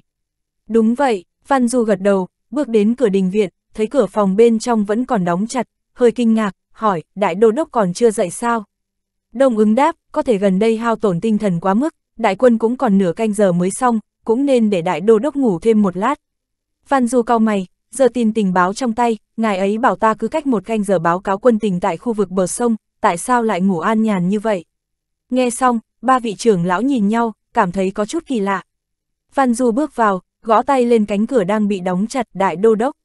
Ba vị trưởng lão cũng đi theo đằng sau. Trong phòng, nắng sớm đã xuyên qua tầng giấy dán cửa. Trước một tấm bản đồ, La Chiếu đã ngồi cả một đêm. Đêm qua, gã ta hoàn toàn không chợp mắt, thân sắc trên gương mặt cương nghị hơi tiểu tụy, vẫn đang nhìn chằm chằm tấm bản đồ. Xâm nhập vào nước Yến, tác chiến nội địa, gã ta hoàn toàn không lo lắng. Đại thế đang đứng về phía gã ta, điều khiến gã ta lo lắng nhất vẫn là nước Tống và chiến sự Mông Sơn Minh. Gã ta hoàn toàn không hiểu rõ ý đồ của Mông Sơn Minh. Một cảm giác nguy cơ nồng đậm vẫn luôn áp bách trong lòng gã ta. Cảm giác nguy cơ này không được giải trừ, thân là chủ soái quân Tống, bảo gã ta làm sao mà ngủ đây. Nghe được tiếng gõ cửa, sắc mặt ảm đạm của La Chiếu được ánh nắng ngoài cửa sổ chiếu vào, lên tiếng, vào đi. Cánh cửa kết một cái rồi được đẩy ra, đám người văn du bước vào, chỉ thấy La Chiếu mặc áo giáp ngồi ngăn ngắn. Nhìn bộ dạng như vậy, rõ ràng gã ta đã không ngủ một đêm qua. Mọi người không khỏi nhìn nhau, sau đó bước đến gần. Văn Du hỏi, suốt đêm qua, đại đô đốc không ngủ. La Chiếu nói, tình huống ô quần liệt như thế nào rồi? Người của sử tân dậu cũng đã tiến vào sơn mạch quần la, người phía sau cũng vào theo. Văn Du bẩm báo, sau đó bước đến trước tấm bản đồ, cầm miếng than củi đánh dấu lên trên tấm bản đồ tình huống xuất binh, sau đó chỉ vào mấy điểm này, nói, nhân mã đến và đi, phạm vi hoạt động càng lúc càng nhỏ. Bây giờ, người của địch và ta trên cơ bản đã tiến vào hết bên trong sơn mạch quần la. La Chiếu nghiêm mặt, điều này gã ta đã ý thức được, trầm giọng nói, Mông Sơn Minh muốn quyết chiến thư hùng với quân ta ở sơn mạch quần la.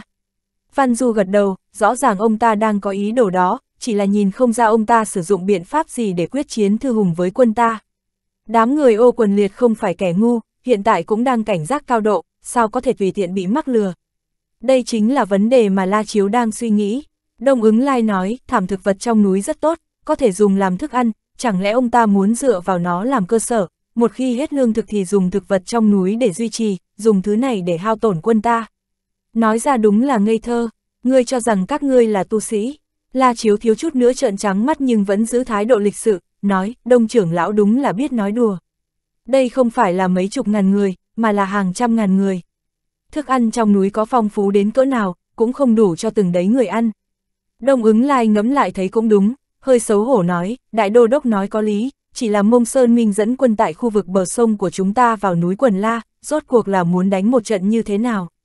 Mọi người đều nhìn bản đồ, bắt đầu suy nghĩ. La Chiếu chậm rãi quay sang nhìn Đông ứng lai, gần từng chữ, Đông trưởng lão vừa mới nói cái gì. Giọng nói không ổn, Văn Du quay đầu lại nhìn Đông ứng lai. Với hiểu biết của hắn ta về La Chiếu, hắn ta biết lời nói của Đông ứng La đã chọc đến cái gì của La Chiếu. Những người còn lại đều nhìn Đông ứng lai, cũng không cảm thấy vừa rồi Đông ứng lai nói có cái gì là không đúng. Đông ứng lai bị mọi người nhìn chằm chằm, toàn thân không được tự nhiên, ta nói đại đô đốc nói có lý là sai sao. La Chiếu giống như gánh trên vai gánh nặng thiên quân, hai tay chống thành ghế, nhất thời khó mà đứng lên, giọng nói run run câu tiếp theo. Đông ứng lai cao mày nói, ta hỏi mông Sơn Minh dẫn quân tại khu vực bờ sông của chúng ta vào Sơn Mạch Quần La, rốt cuộc là muốn đánh một trận như thế nào? Mọi người nhìn nhau, vẫn không cảm thấy câu nói này có gì không ổn. Kết quả, chỉ thấy hai tay la chiếu chống thành ghế run rẩy đứng dậy, dường như đã dùng hết khí lực toàn thân, hai mắt trợn to nhìn chằm chằm tấm bản đồ như muốn nứt ra. Tô Nguyên Bạch tiến lên, trầm giọng hỏi, đại đô đốc, ngài làm sao vậy? La chiếu lảo đảo tiến lên mấy bước, ngón tay run run chỉ vào tấm bản đồ, bờ sông, bờ sông phía đông, núi Quần La. Nói cũng không nói lưu loát, hai chân như nhũn ra. Lời còn chưa dứt, người đã co giật, lảo đảo trở ngược, đụng ngã cái ghế, thân hình ngã nhào xuống đất, toàn thân không còn sức lực, chẳng khác nào đứa trẻ lên ba. Đại đô đốc, mọi người kinh hô, vội tiến lên đỡ lấy gã ta. La Chiếu được đỡ dậy, yếu ớt duỗi ngón tay chỉ vào tấm bản đồ, yết hầu giống như bị thứ gì đó kẹp lại, khó mà lên tiếng, hai mắt mở to. Nhìn thấy gã ta như vậy, Văn Du không hiểu gì cả, không biết La Chiếu đã xảy ra chuyện gì không ổn, lại khiến cho gã ta biến thành như thế. Tô Vân Bạch nói, đại đô đốc, đừng gấp, có chuyện gì từ từ nói. Vừa nói, một tay ông ta vừa để sau lưng La Chiếu, thì pháp ổn định kích động. Khí tức hỗn loạn bên trong cơ thể rốt cuộc cũng hòa hoãn lại, giúp La Chiếu đủ sức rên lên một tiếng kêu tuyệt vọng, trúng kế rồi. Rút lui thôi, bảo người của ô quần liệt lập tức rút lui ngay, rút khỏi núi quần La. Nhanh, nhanh, nhanh, chương 1015, Lão Tặc Thương Tấn 2. Mọi người đều hoảng hốt, ý thức được mức độ nghiêm trọng của sự việc. Nếu không, sẽ không có khả năng biến đại đô đốc thành như thế. Nhưng mọi người vẫn nghi ngờ như cũ. Văn Du hỏi, đại đô đốc, ngài có thể nói rõ tình huống được không? Nếu không, sẽ không thể rút lui. Người tiến vào núi quần la từ bốn phương tám hướng, bây giờ rút lui lại đường cũ hay sao? La Chiếu chỉ vào tấm bản đồ, gào lên đau đớn, mau bỏ đi. Phía đông có con sông, mưa to luân phiên, nước sông tăng vọt. Mông Sơn Minh muốn phá đập, lợi dụng nước để tấn công núi quần la. Mau bỏ đi, lời vừa nói ra, tuy ba vị trưởng lão khiếp sợ, nhưng vẫn còn mờ mịt nhìn tấm bản đồ. Văn Du quay mạnh đầu nhìn bản đồ, quan sát địa thế cả một vùng núi quần la, liên tưởng đến trạng thái sau khi hai phe địch ta tiến vào núi, rốt cuộc đã hiểu ra ý đồ kinh khủng của mông Sơn Minh, không khỏi sợ hãi, mắt mở to, cầm run run, sừng sốt đến không nói thành lời, sau đó quay người đụng ngã một băng ghế, người ngã trên mặt đất vẫn cố lồm cồm bò dậy, chán bị đập cũng không đoái hoài, có thể nói là lộn nhào chạy ra ngoài. Mông Sơn Minh, lão tặc thương tấn, ta và ngươi thể bất lưỡng lập. a phẫn nộ chửi mắng, la chiếu chợt hét thảm, một tay ôm ngực, hai mắt trắng dã ngã xuống, cũng may mà có người đỡ lấy. Đại đô đốc, vài tiếng kinh hô vang lên, ba vị trưởng lão nhanh chóng cứu giúp, phát hiện la chiếu bởi vì nóng giận công tâm nên đã bất tỉnh. Bờ sông phía đông, một đám người bay đến, trên 100 đệ tử ba đại phái nước Yến cùng nhau bay thấp gần bờ sông. vị trí chỉ định là chỗ này, lỗ hồng cần phải đào lớn lên, phải nhanh, ra tay thôi, tu sĩ lính đội phất tay ra hiệu, trên 100 tu sĩ lập tức xếp thành một hàng trên bờ sông, âm thanh ầm ầm vang lên, trường lực đánh tung, kiếm khí bổ xuống, đất đá trên bờ sông không ngừng bay tứ tung. Con đê bờ sông càng lúc càng mỏng, một vết rách mở ra, nước sông ầm một cái phá tan con đê, khiến một tu sĩ trở tay không kịp bị đánh bay. Lỗ hồng vừa mở, đê sông bị đào mỏng chẳng khác nào trang giấy bị xé. Một đám tu sĩ phi thân từ dưới nước sông, vội vã leo lên bờ hai bên. Tu sĩ bị nước cuốn trôi đã lướt sóng quay về, tay ôm ngực và miệng bước đến bên cạnh mọi người. Nhìn nước sông cuồn cuộn chảy xuống, một đám tu sĩ mệt đến chết đi được. Bờ đê này đúng là đủ rộng, đủ dày, khiến pháp lực của bọn họ bị tiêu hao quá sức. Núi quần la, rừng cây xanh um tươi tốt, núi non chập trùng. Rất nhiều người đang leo lên núi. Xe lăn của Mông Sơn Minh là nhờ hai tu sĩ vác lên trên. Mông Sơn Minh đứng từ trên cao nhìn xuống. Dưới núi, đại quân vẫn còn đang tiến lên. Cách xa vài dặm, đại quân của kẻ địch cũng đã dừng, hình như đang quan sát động tĩnh bên này. Cung lâm sách bay đến, thấp xuống bên cạnh Mông Sơn Minh, nhỏ giọng nói, đã bảo đại quân tranh thủ thời gian lên núi. Mông Sơn Minh quay đầu lại hỏi, đã mở ra chưa? Cung lâm sách gật đầu, thậm chí còn mỉm cười chắp tay, đại thế phát triển rất mạnh, lần này cung mỗ đã tận mắt nhìn thấy kỳ công bất thế mà mông soái đã lập. Người không phải cỏ cây mà vô tình, ở lâu, ít nhiều cũng sẽ có giao tình, trước mắt phát sinh chuyện gì, ông ta đều biết rõ. Người thực hiện đập đê là do ông ta bí mật phái đi, bản thân ông ta đích thân tham dự, đồng thời tận mắt nhìn thấy mông sơn minh dọc đường dùng mưu kế đùa bỡn quân địch trong lòng bàn tay, thật sự là bội phục từ đáy lòng. Đại quân còn đang tiếp tục tiến lên trên núi. Đây là đội nhân mã cuối cùng của Trương Hổ tiến lên núi. Mọi người vừa leo lên núi, vừa cảnh giác truy binh đằng sau. Trong lúc Mông Sơn Minh và Cung Lâm Sách nói chuyện với nhau, chợt nghe có người la to, Mông Soái, ta muốn gặp Mông Soái, ta muốn gặp Mông Soái. Mọi người quay đầu nhìn lại, chỉ thấy một quân sĩ đang va chạm với thủ vệ, miệng còn la to. Tình huống như vậy rất hiếm thấy. Cung Lâm Sách và Mông Sơn Minh nhìn nhau. Trương Hổ bên cạnh hỏi thuộc hạ, thủ hạ của ai vậy? Chuyện gì đang xảy ra thế? Ông ta có thể xác định đây là người của bên mình.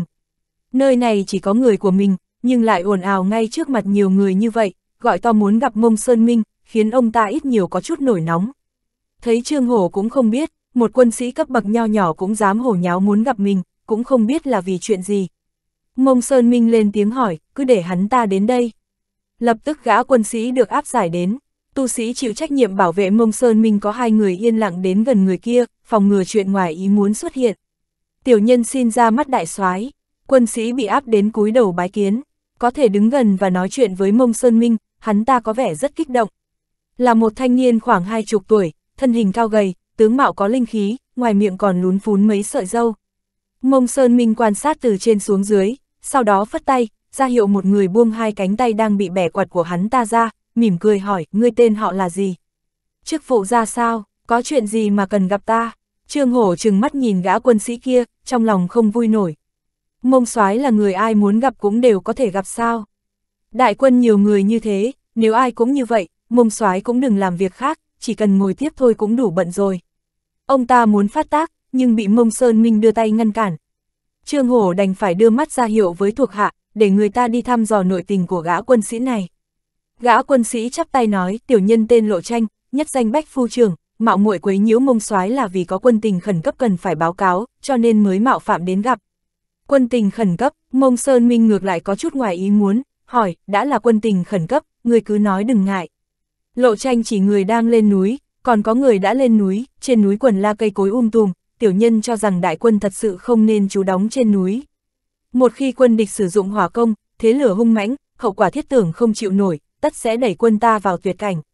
Xin đại soái minh giám, Trương Hổ nghe xong, mắt trợn lên, một tên lính quèn hoàn toàn không biết đại thế, có thể có quân tình gì khẩn cấp mà bẩm báo chứ. Quả nhiên là thế mà, trong lòng ông ta mắng thầm, đúng là ngu xuẩn, việc này còn cần ngươi đến nhắc nhở sao. Cung lâm sách lạnh nhạt nhìn lộ tranh, biểu hiện cao cao tại thượng, nhìn tên lính quèn như nhìn run dế.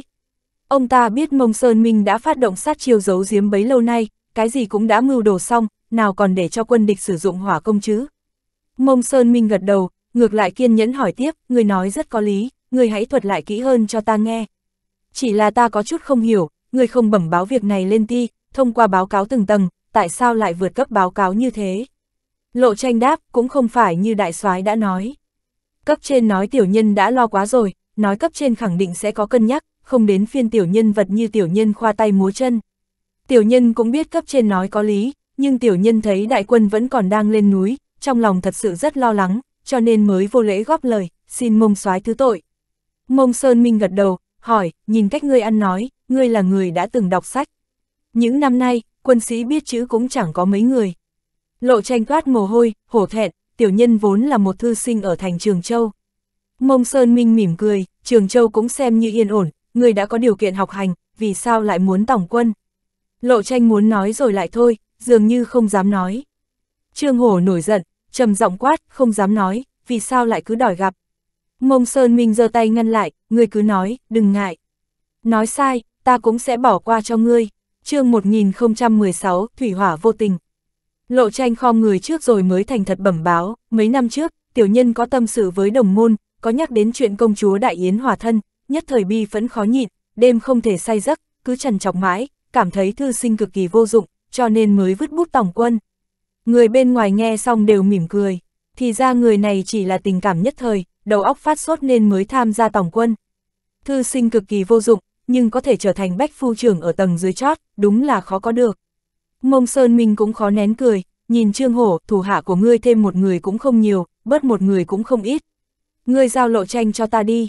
Sao à? Trương Hổ sửng sốt, chuyện gì vậy nhỉ? Trong mắt ông ta đảo mòng mòng, không khỏi quan sát lộ tranh lần nữa, trong lòng hơi động. Người này có thể khiến cho mông Soái nhìn chúng. Ánh mắt của ông ta lấp lóe một chút, sau đó ho khan hai tiếng, nói, đại soái là như vậy, điều động huynh đệ bên dưới, tất phải trưng cầu ý kiến của cấp trên bọn họ một chút. Mông Sơn Minh vẫn bình tĩnh, quả nhiên là chư hầu một phương. Cũng được, ta cũng không dám làm khó dễ ngươi. À, Trương Hổ khó xử, nói như vậy, thật khiến người ta không chịu được mà. Đại soái, ý của ta không phải như vậy, chỉ là trưng cầu ý kiến bên dưới một chút. Thôi thì thế này, người sẽ đưa cho đại soái trước. Ta sẽ bảo bên dưới bàn giao, bổ sung lại là được. Đại An, Mông Sơn Minh gọi, thưa có, là Đại An đang ngồi đằng sau xe lăn vội đứng dậy nghe lệnh. Đây là đệ tử La Đại An của ta. Mông Sơn Minh giới thiệu với Lộ Tranh, về sau ngươi hãy đi theo gã. Lộ Tranh sợ ngây người, sau đó mừng rỡ như điên, làm gì có chuyện không đồng ý chứ. Hắn ta liên tục nói lời cảm ơn, đồng thời chào hỏi La Đại An. Lúc này, Lộ Tranh mới thật sự khiến đám người cung lâm sách chú ý. Ánh mắt mọi người nhìn Lộ Tranh khác nhau, nhưng tất cả đều biết, Mông Sơn Minh tất sẽ có ánh mắt của Mông Sơn Minh. Mặc dù không biết vì sao Mông Sơn Minh lại nhìn chúng chàng thanh niên này, nhưng nhất định sẽ có nguyên nhân để nhìn chúng. Cũng có thể tưởng tượng, có mông sơn minh dìu dắt, vận mệnh của chàng thanh niên này sẽ thay đổi. Trương Hổ, Trương Đại Tướng Quân, Trương Thứ Sử không phải trước đó chỉ là một mã phu thôi sao? Cũng là một tay mông sơn minh đưa lên.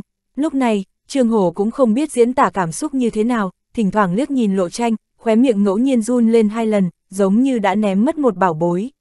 Dù sao lộ tranh cũng là bách phu trưởng, thuộc hạ có gần trăm huynh đệ, cũng cần phải đi thông báo một tiếng.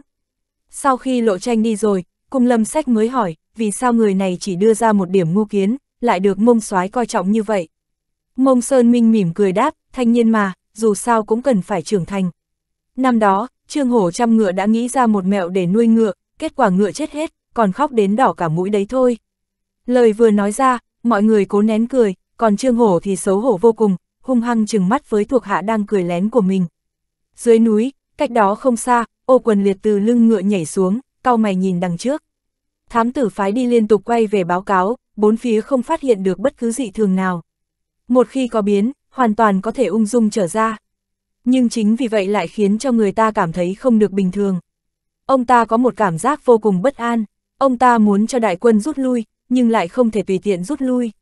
Một khi buông ra, để quân Yến thoát khỏi ràng buộc và trói buộc, quân Yến sẽ thọc sâu vào nước Tống quân Yến đang bị thiếu lương thực, sợ tránh không được phải giết chóc, cướp bóc một trận. Liêu Nam Thanh xuất lĩnh người đến tra xét một chỗ khác phóng ngựa trở về. Sau thất bại ở hồ khẩu, thuộc hạ không còn một ai, khó mà đơn độc thành quân. Bây giờ trở thành người bên cạnh ô quần liệt, y đến trước mặt ô quần liệt, báo cáo một vài tình huống, sau đó nói, đại nhân, nơi này có thể dùng hỏa công.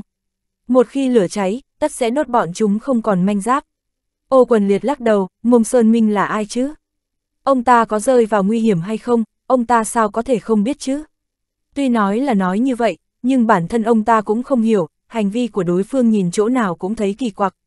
Liêu Nam Thanh nói, mặc kệ ông ta có biết hay không, chúng ta cứ việc dùng hỏa công. Ông ta tiếp chiêu như thế nào là chuyện của ông ta.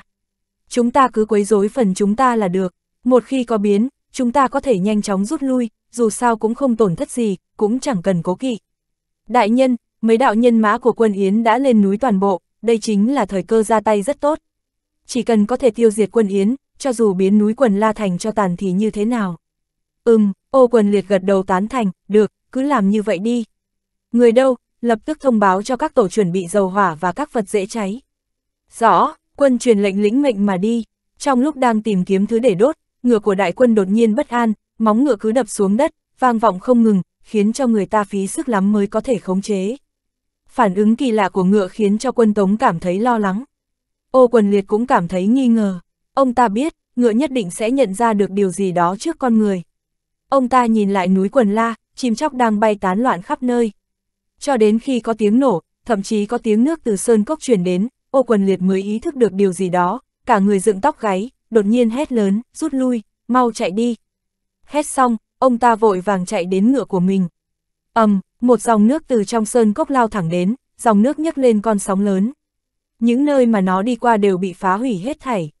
Đột nhiên xuất hiện một cảnh tượng kinh khủng như vậy, đại quân do ô quần liệt xuất lĩnh hoàn toàn luống cuống, toàn bộ rối tinh rối mù, thứ gì cũng không để ý đến, ném hết đồ vật quay đầu bỏ chạy.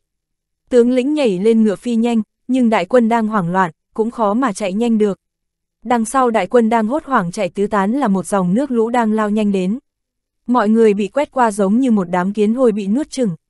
Tiếng kêu sợ hãi vang vọng khắp nơi, dòng nước lũ vừa ra khỏi núi đã cuồn cuộn lao nhanh, sau đó giảm dần rồi mở rộng bốn phương tám hướng, nhưng cũng đủ nhấn chìm đại quân đang chạy tứ tán. Chẳng những người của ô quần liệt gặp nạn, toàn bộ nhân mã nước Tống phụ trách bảo vệ bờ đê bốn phương tám hướng núi quần la gần như đồng thời gặp phải kiếp nạn này. Đa phần tướng sĩ nước Yến đều không biết sẽ có cảnh tượng như vậy. Khi đứng trên núi nhìn hình ảnh thủy hỏa vô tình, sóng lớn tràn ngập, ai nấy đều giật mình. Lúc này, các tướng sĩ mới biết vì sao lại phải lên núi. Lộ tranh đang đứng cùng một chỗ với La Đại An đằng sau xe lăn của Mông Sơn Minh vô cùng kinh ngạc, thời gian dần trôi mới hiểu ra được điều gì. Nhìn Mông Sơn Minh khí định thần nhàn ngồi trên xe lăn, rồi nhìn La Đại An vẫn bình thản đứng bên cạnh, lộ tranh cảm thấy xấu hổ không thôi. Không phải nhờ đề nghị của hắn ta mới khiến cho mông soái nhìn chúng mà thu nhận. Hắn ta đúng là suy nghĩ quá nhiều, xấu hổ chết đi được. Bị mông sơn minh dạy cho một bài học, lộ tranh mới biết được sự rốt nát của mình, mới biết mình nhỏ bé đến cỡ nào. Nhìn cảnh tượng vô tình trước mắt, cung lâm sách quay sang chúc mừng mông sơn minh, mông soái hậu hoạn tuyến phòng ngự bờ sông nước Tống đã được loại trừ.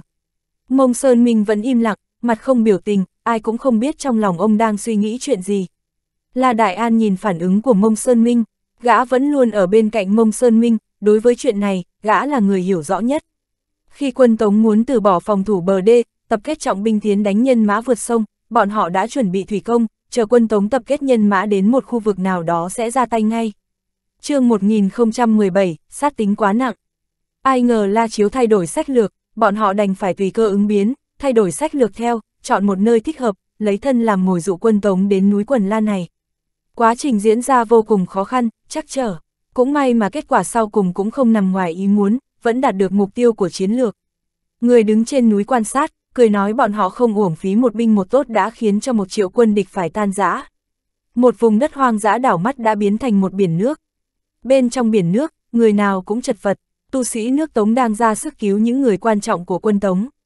Về phần hơn một triệu người còn lại, bây giờ có chín đại trí tôn đến cứu cũng cứu không được tu sĩ nước Tống cũng bất lực, cũng chỉ cứu được vài người quan trọng, sau đó mang theo những tướng lĩnh này thoát khỏi nạn hồng thủy. Bên trong hồng thủy, có người vật lộn trong đống bùn, có người đang bơi trong vũng nước đục để tìm sự sống, cũng có người đã không còn hơi thở chìm chìm nổi nổi theo dòng nước trôi đi. Người nào không biết bơi, phần lớn đều khó thoát khỏi cái chết. Trên một cây đại thụ có quá nhiều người đứng, chạc cây chịu không nổi cứ phát ra tiếng răng rắc. Có những nơi tương đối cao, người đứng trên chân không lọt, đều phải ngâm nửa mình trong nước có không ít người rơi xuống nước từ trên cây. Nhìn hình ảnh thảm khốc xung quanh, ô quần liệt đang ngồi trên trà cây dùng tay đấm vào thân cây, gào khóc. Ông ta có thể tưởng tượng, nhất định không chỉ nơi này, người bị dụ đến núi quần la hẳn cũng khó mà tránh khỏi kiếp nạn. Một triệu nhân mã, thân là chủ soái còn chưa chính thức giao chiến đã để cho toàn quân bị diệt. Trước giờ, ông ta chưa hề thảm bại qua như vậy, cũng không biết nên đối mặt với mọi người như thế nào, tâm trạng hoàn toàn sụp đổ. Liêu Nam Thanh cũng đang ở trên một trạc cây, hai mắt choáng váng nhìn thảm cảnh trước mặt. Liên tiếp trải qua hai trận thảm bại khiến y hoàn toàn mê mang. Một đám tu sĩ đang đứng trên một tán cây lắc lư trong gió, dưới cây còn có không ít binh sĩ đang có ý đổ leo lên cây. Địa thế ở núi Quần La khác với những chỗ khác, người có thể trốn được lên núi có hạn, không cản nổi quân lính nước Yến đang tập trung trên núi trùng sát. Quân Yến đứng trên núi dùng cung tên bắn những người đang cầu sinh dưới nước. Sau một đợt đỉnh lũ, thủy thế dần dần chậm lại. Không có nguồn nước bổ sung, nước bắt đầu thấm vào đất, biển nước khô lại cũng nhanh, mặt đất mấp mô, chẳng khác nào đầm lầy. Quân Yến bắt đầu xuống núi, chậm rãi từng bước, kết đội thành quần truy sát quân Tống, đồng thời còn có tu sĩ phối hợp. Quân Tống vốn đã bị tách ra, không có cách nào tạo thành một đội ngũ hữu hiệu để chống cự. Vũ khí cầm trong tay sớm không biết trôi đi đâu rồi, tay không tất sắt, lại còn bị dày vò đến kiệt sức, làm sao có thể ngăn cản quân Yến chém giết chứ? Chẳng khác nào cừu non chờ làm thịt, quân Tống vừa mới chạy ra khỏi vùng bùn, đã bị quân Yến rảo sát, cảnh tượng vô cùng thê thảm. Ô quần liệt ngồi trên tàng cây bất lực nhìn cảnh tượng trước mặt. Đối với chủ soái một quân, đây là cảnh không gì tàn nhẫn hơn, hai mắt ông ta mở to như muốn nứt ra. Ông ta ngửa mặt lên trời, phát ra tiếng gào a thật to. Ô đại nhân, đi thôi, nếu ngài không đi, sẽ không còn kịp nữa. Một tu sĩ kéo ô quần liệt, quân sĩ đang dựa vào thân cây bên dưới nghe nói muốn đi, liền ngẩng đầu lên trên, kêu rên, đại nhân, xin cứu lấy chúng ta. Ô quần liệt ôm thân cây không chịu đi, đồng thời khẩn cầu các tu sĩ, van xin mọi người, ta xin các vị Pháp sư ra tay cứu giúp, có thể cứu được bao nhiêu người thì cứu. Ta xin các người đấy, các người giúp ngăn cản quân Yến, tranh thủ cho các huynh đệ thời gian thoát thân cũng được. Ta xin các người, kiếp sau ta sẽ làm châu ngựa báo đáp cho các người. Một đám tu sĩ cũng đang chật vật, đang khó khăn. Chiến tranh quy mô lớn như vậy, dựa vào bọn họ chạy đến đánh với tu sĩ nước Yến một trận, căn bản chẳng có tác dụng. Ngoại trừ giết một số tu sĩ và tướng lĩnh nước Yến xả giận thì còn làm được gì. Đã không cách nào đánh bại quân Yến, cũng vô pháp thay đổi chiến cuộc, giữ không được địa bàn, bọn họ không có khả năng cứu hơn một triệu người trước mặt. Cứu người cũng được, nhưng trong tình huống này, có thể cứu được bao nhiêu? Căn bản không có cách nào mang theo nhiều người, mang nhiều người sẽ ảnh hưởng đến tốc độ thoát thân. Đối mặt với sự truy sát của tu sĩ nước Yến, đến lúc đó ai cũng chạy không thoát. Nơi này cũng tồn tại rất nhiều chuyện cảm động, bọn họ có thể hiểu được tâm trạng của ô quần liệt, nhưng khẩn cầu của ô quần liệt khiến bọn họ thật sự rất khó xử. Mắt thấy quân Yến và tu sĩ đang tìm kiếm càng lúc càng gần, một tu sĩ dẫn đầu nước Tống Hạ quyết tâm, một cú đánh ô quần liệt hôn mê bất tỉnh, sau đó ôm lấy ô quần liệt bay đi. Các tu sĩ khác cũng mang theo những tướng lĩnh quan trọng, lướt đi trên mặt đất đầy bùn. Nếu bỏ mặc đám tướng lĩnh thuộc hạ của ô quần liệt, khi thoát đi sẽ rất nhanh, nhưng lúc trở về sẽ không cách nào bàn giao. Mặc kệ thắng hay bại, các người cứ như vậy mà ném chủ tướng chạy trốn. Nếu như vậy, đệ tử môn phái tham chiến trở về sẽ biết ăn nói như thế nào. Đại nhân, đại nhân, nhìn thấy đám tu sĩ mang đám người ô quần liệt chạy đi, quân sĩ bị bỏ lại dưới cây kêu lên. Tiếng kêu chẳng những không kéo được đám tu sĩ kia quay lại, ngược lại còn kinh động một đám tu sĩ nước Yến đuổi theo truy sát. Suốt cả chặng đường diễn ra một cuộc chiến ác liệt, một đám tu sĩ nước Tống liều mạng hộ Tống tướng lĩnh ô quần liệt phá vòng vây. Ban đêm đốt đuốc, phạm vi tiêu diệt núi quần la vẫn tiếp tục kéo dài đến hừng đông ngày hôm sau. Giết người nước Tống là một chuyện, quan trọng hơn là tìm kiếm lương thực của bọn họ. Từng túi lương thực bị ngâm trong nước bẩn đã được tìm thấy. Quân Yến tay cầm đao thương, bức bách tù binh quân Tống khiêng lên núi. Rất nhiều lương thực đã được trở đến sau núi, bất kể có bị nước ngâm qua hay không, tất cả đều được rửa sạch tại một thác nước đằng sau núi. Dưới mệnh lệnh của Mông Sơn Minh, mọi người chặt cây cối ngay tại chỗ, trực tiếp đem lương thực biến thành lương khô. Làm như vậy cũng vì không còn cách nào, lương thực bị nước ngâm qua không thể giữ lâu, rất dễ bị thối giữa, biến chất. Đem chúng biến thành lương khô còn tốt hơn không còn gì để ăn. Trải qua trận này, sau khi kiểm kê, quân Yến trong tình huống không còn gì bổ sung, đã có được lương thực trong vòng nửa tháng. Có phần lương thực nửa tháng trong tay, cộng thêm thắng được trận này, quân tâm xem như đã định. Đến lúc này, tuyến phòng thủ biên giới của nước Tống đối với nước Yến đã hoàn toàn sụp đổ, thùng rỗng kêu to. Hậu quả của cuộc chiến vô cùng nghiêm trọng, bầu trời trong xanh, nhiều hữu đạo đứng chống kiếm trên sườn núi, đón gió mà đứng, nhìn dòng nước xiết cuồn cuộn bên dưới. Nghe được tiếng bước chân quen thuộc đến gần, nhiều hữu đạo thở dài chính là chỗ này. 50.000 người bị cưỡng ép vượt qua, hiểm địa như vậy, khó trách trong nháy mắt đã hao tổn hết 20.000 người. Quản phương nghi đến gần, đưa sang một tờ tin tức, công tôn bố chuyển đến, đại thắng rồi. Quân tống phòng thủ bờ đê đã bị mông xoái triệt để đánh ngã. Ngưu Hữu đạo cầm tờ giấy, nhìn thấy báo cáo mông Sơn Minh dùng thủy công nhấn chìm toàn bộ quân tống, không khỏi tặc lưỡi lắc đầu quả nhiên là đại thắng. Hai triệu nhân mã nước tống bố trí tại khu vực đê sông đã bị san bằng tất cả, thắng được một trận rất đẹp.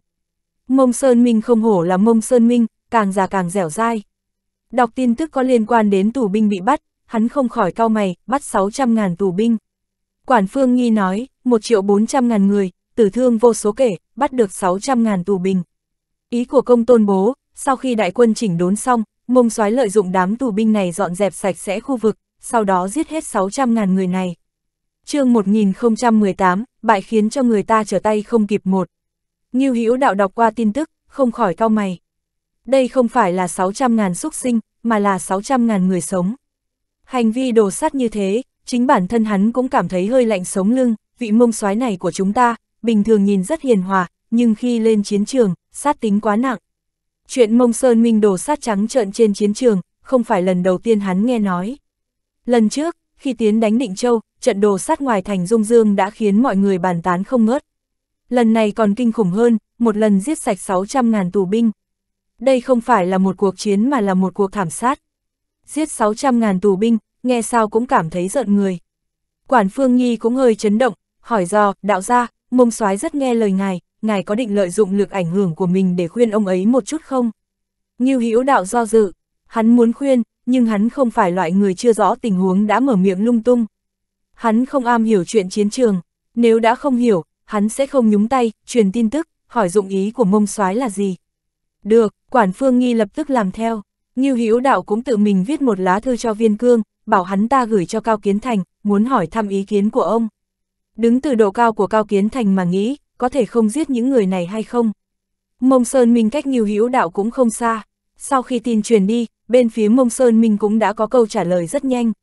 Ý của Mông Sơn Minh rất đơn giản, hoàn toàn đứng trên góc độ tác chiến của một quân nhân, nhắc đến hơn 400.000 quân tống phòng tuyến hồ khẩu tử chiến không hàng, đồng thời cũng nhắc nhở Ngưu Hữu Đạo, quân phòng thủ khu vực bờ sông nước Tống đều là nhân mã tinh nhuệ nước Tống triệu tập đến.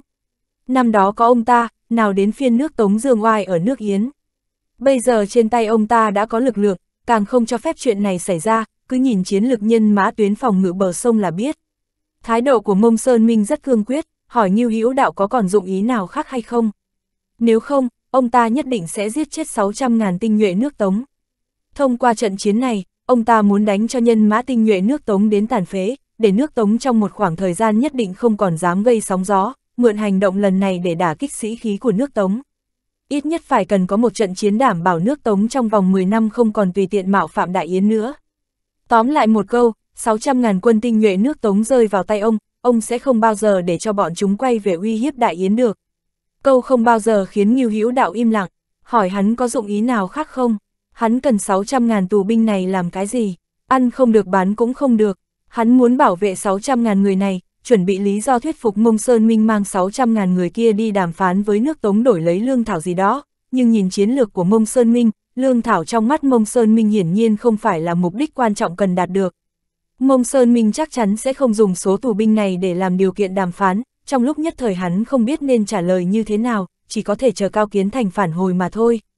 Trong ngự hoa viên thuộc kinh đô nước Tống, quân thần hai người cùng dạo bước xung quanh đình đài lầu các. Quân là Tống Hoàng Mục Trác chân thần là thừa tướng Tử Bình Hưu.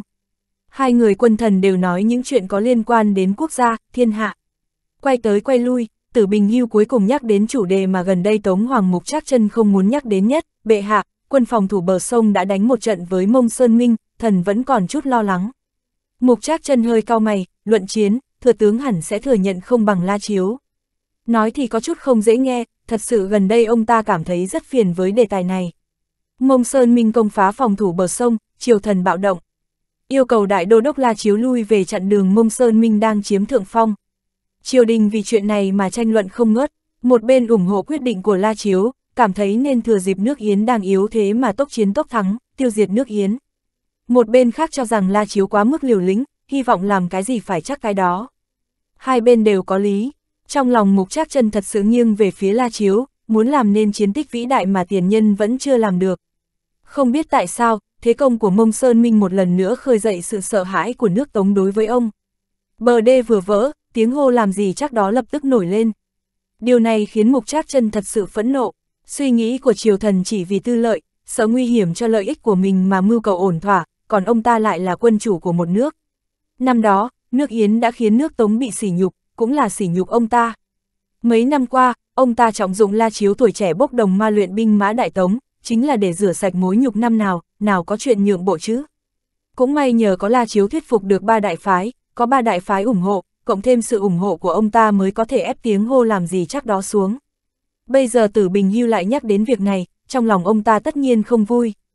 Vâng, vâng, vâng, tử Bình Hưu khiêm tốn nói, bệ hạ nói đúng lắm, thần là quan văn, đại đô đốc là quan võ. Luận chiến sự, thần khẳng định không bằng đại đô đốc, nhưng người hiểu chiến sự trong quân lại có cái nhìn khác. Mông Sơn Minh chinh chiến cả đời, cực kỳ thiện chiến, trong tay lại tập kết toàn thuộc hạ cũ, lại là nhân mã tinh nhuệ của nước Yến. Đê sông vừa vỡ, sợ là sẽ nguy hiểm cho toàn bộ đại tống. Mục Trác chân nói, ý của thừa tướng là, đại quân tinh nhuệ phòng thủ bờ sông của chấm không tinh nhuệ bằng nước Yến, hay là nói khi đại quân ta đã đến gần Yến Kinh dễ như trở bàn tay vẫn kiên trì triệt binh cho nước Yến cơ hội thở dốc. Tử Bình Hưu nói, bệ hạ hiểu lầm rồi, thần chỉ lo lắng quân phòng thủ bờ sông quần nhau với mông Sơn Minh sẽ chịu thiệt mà thôi.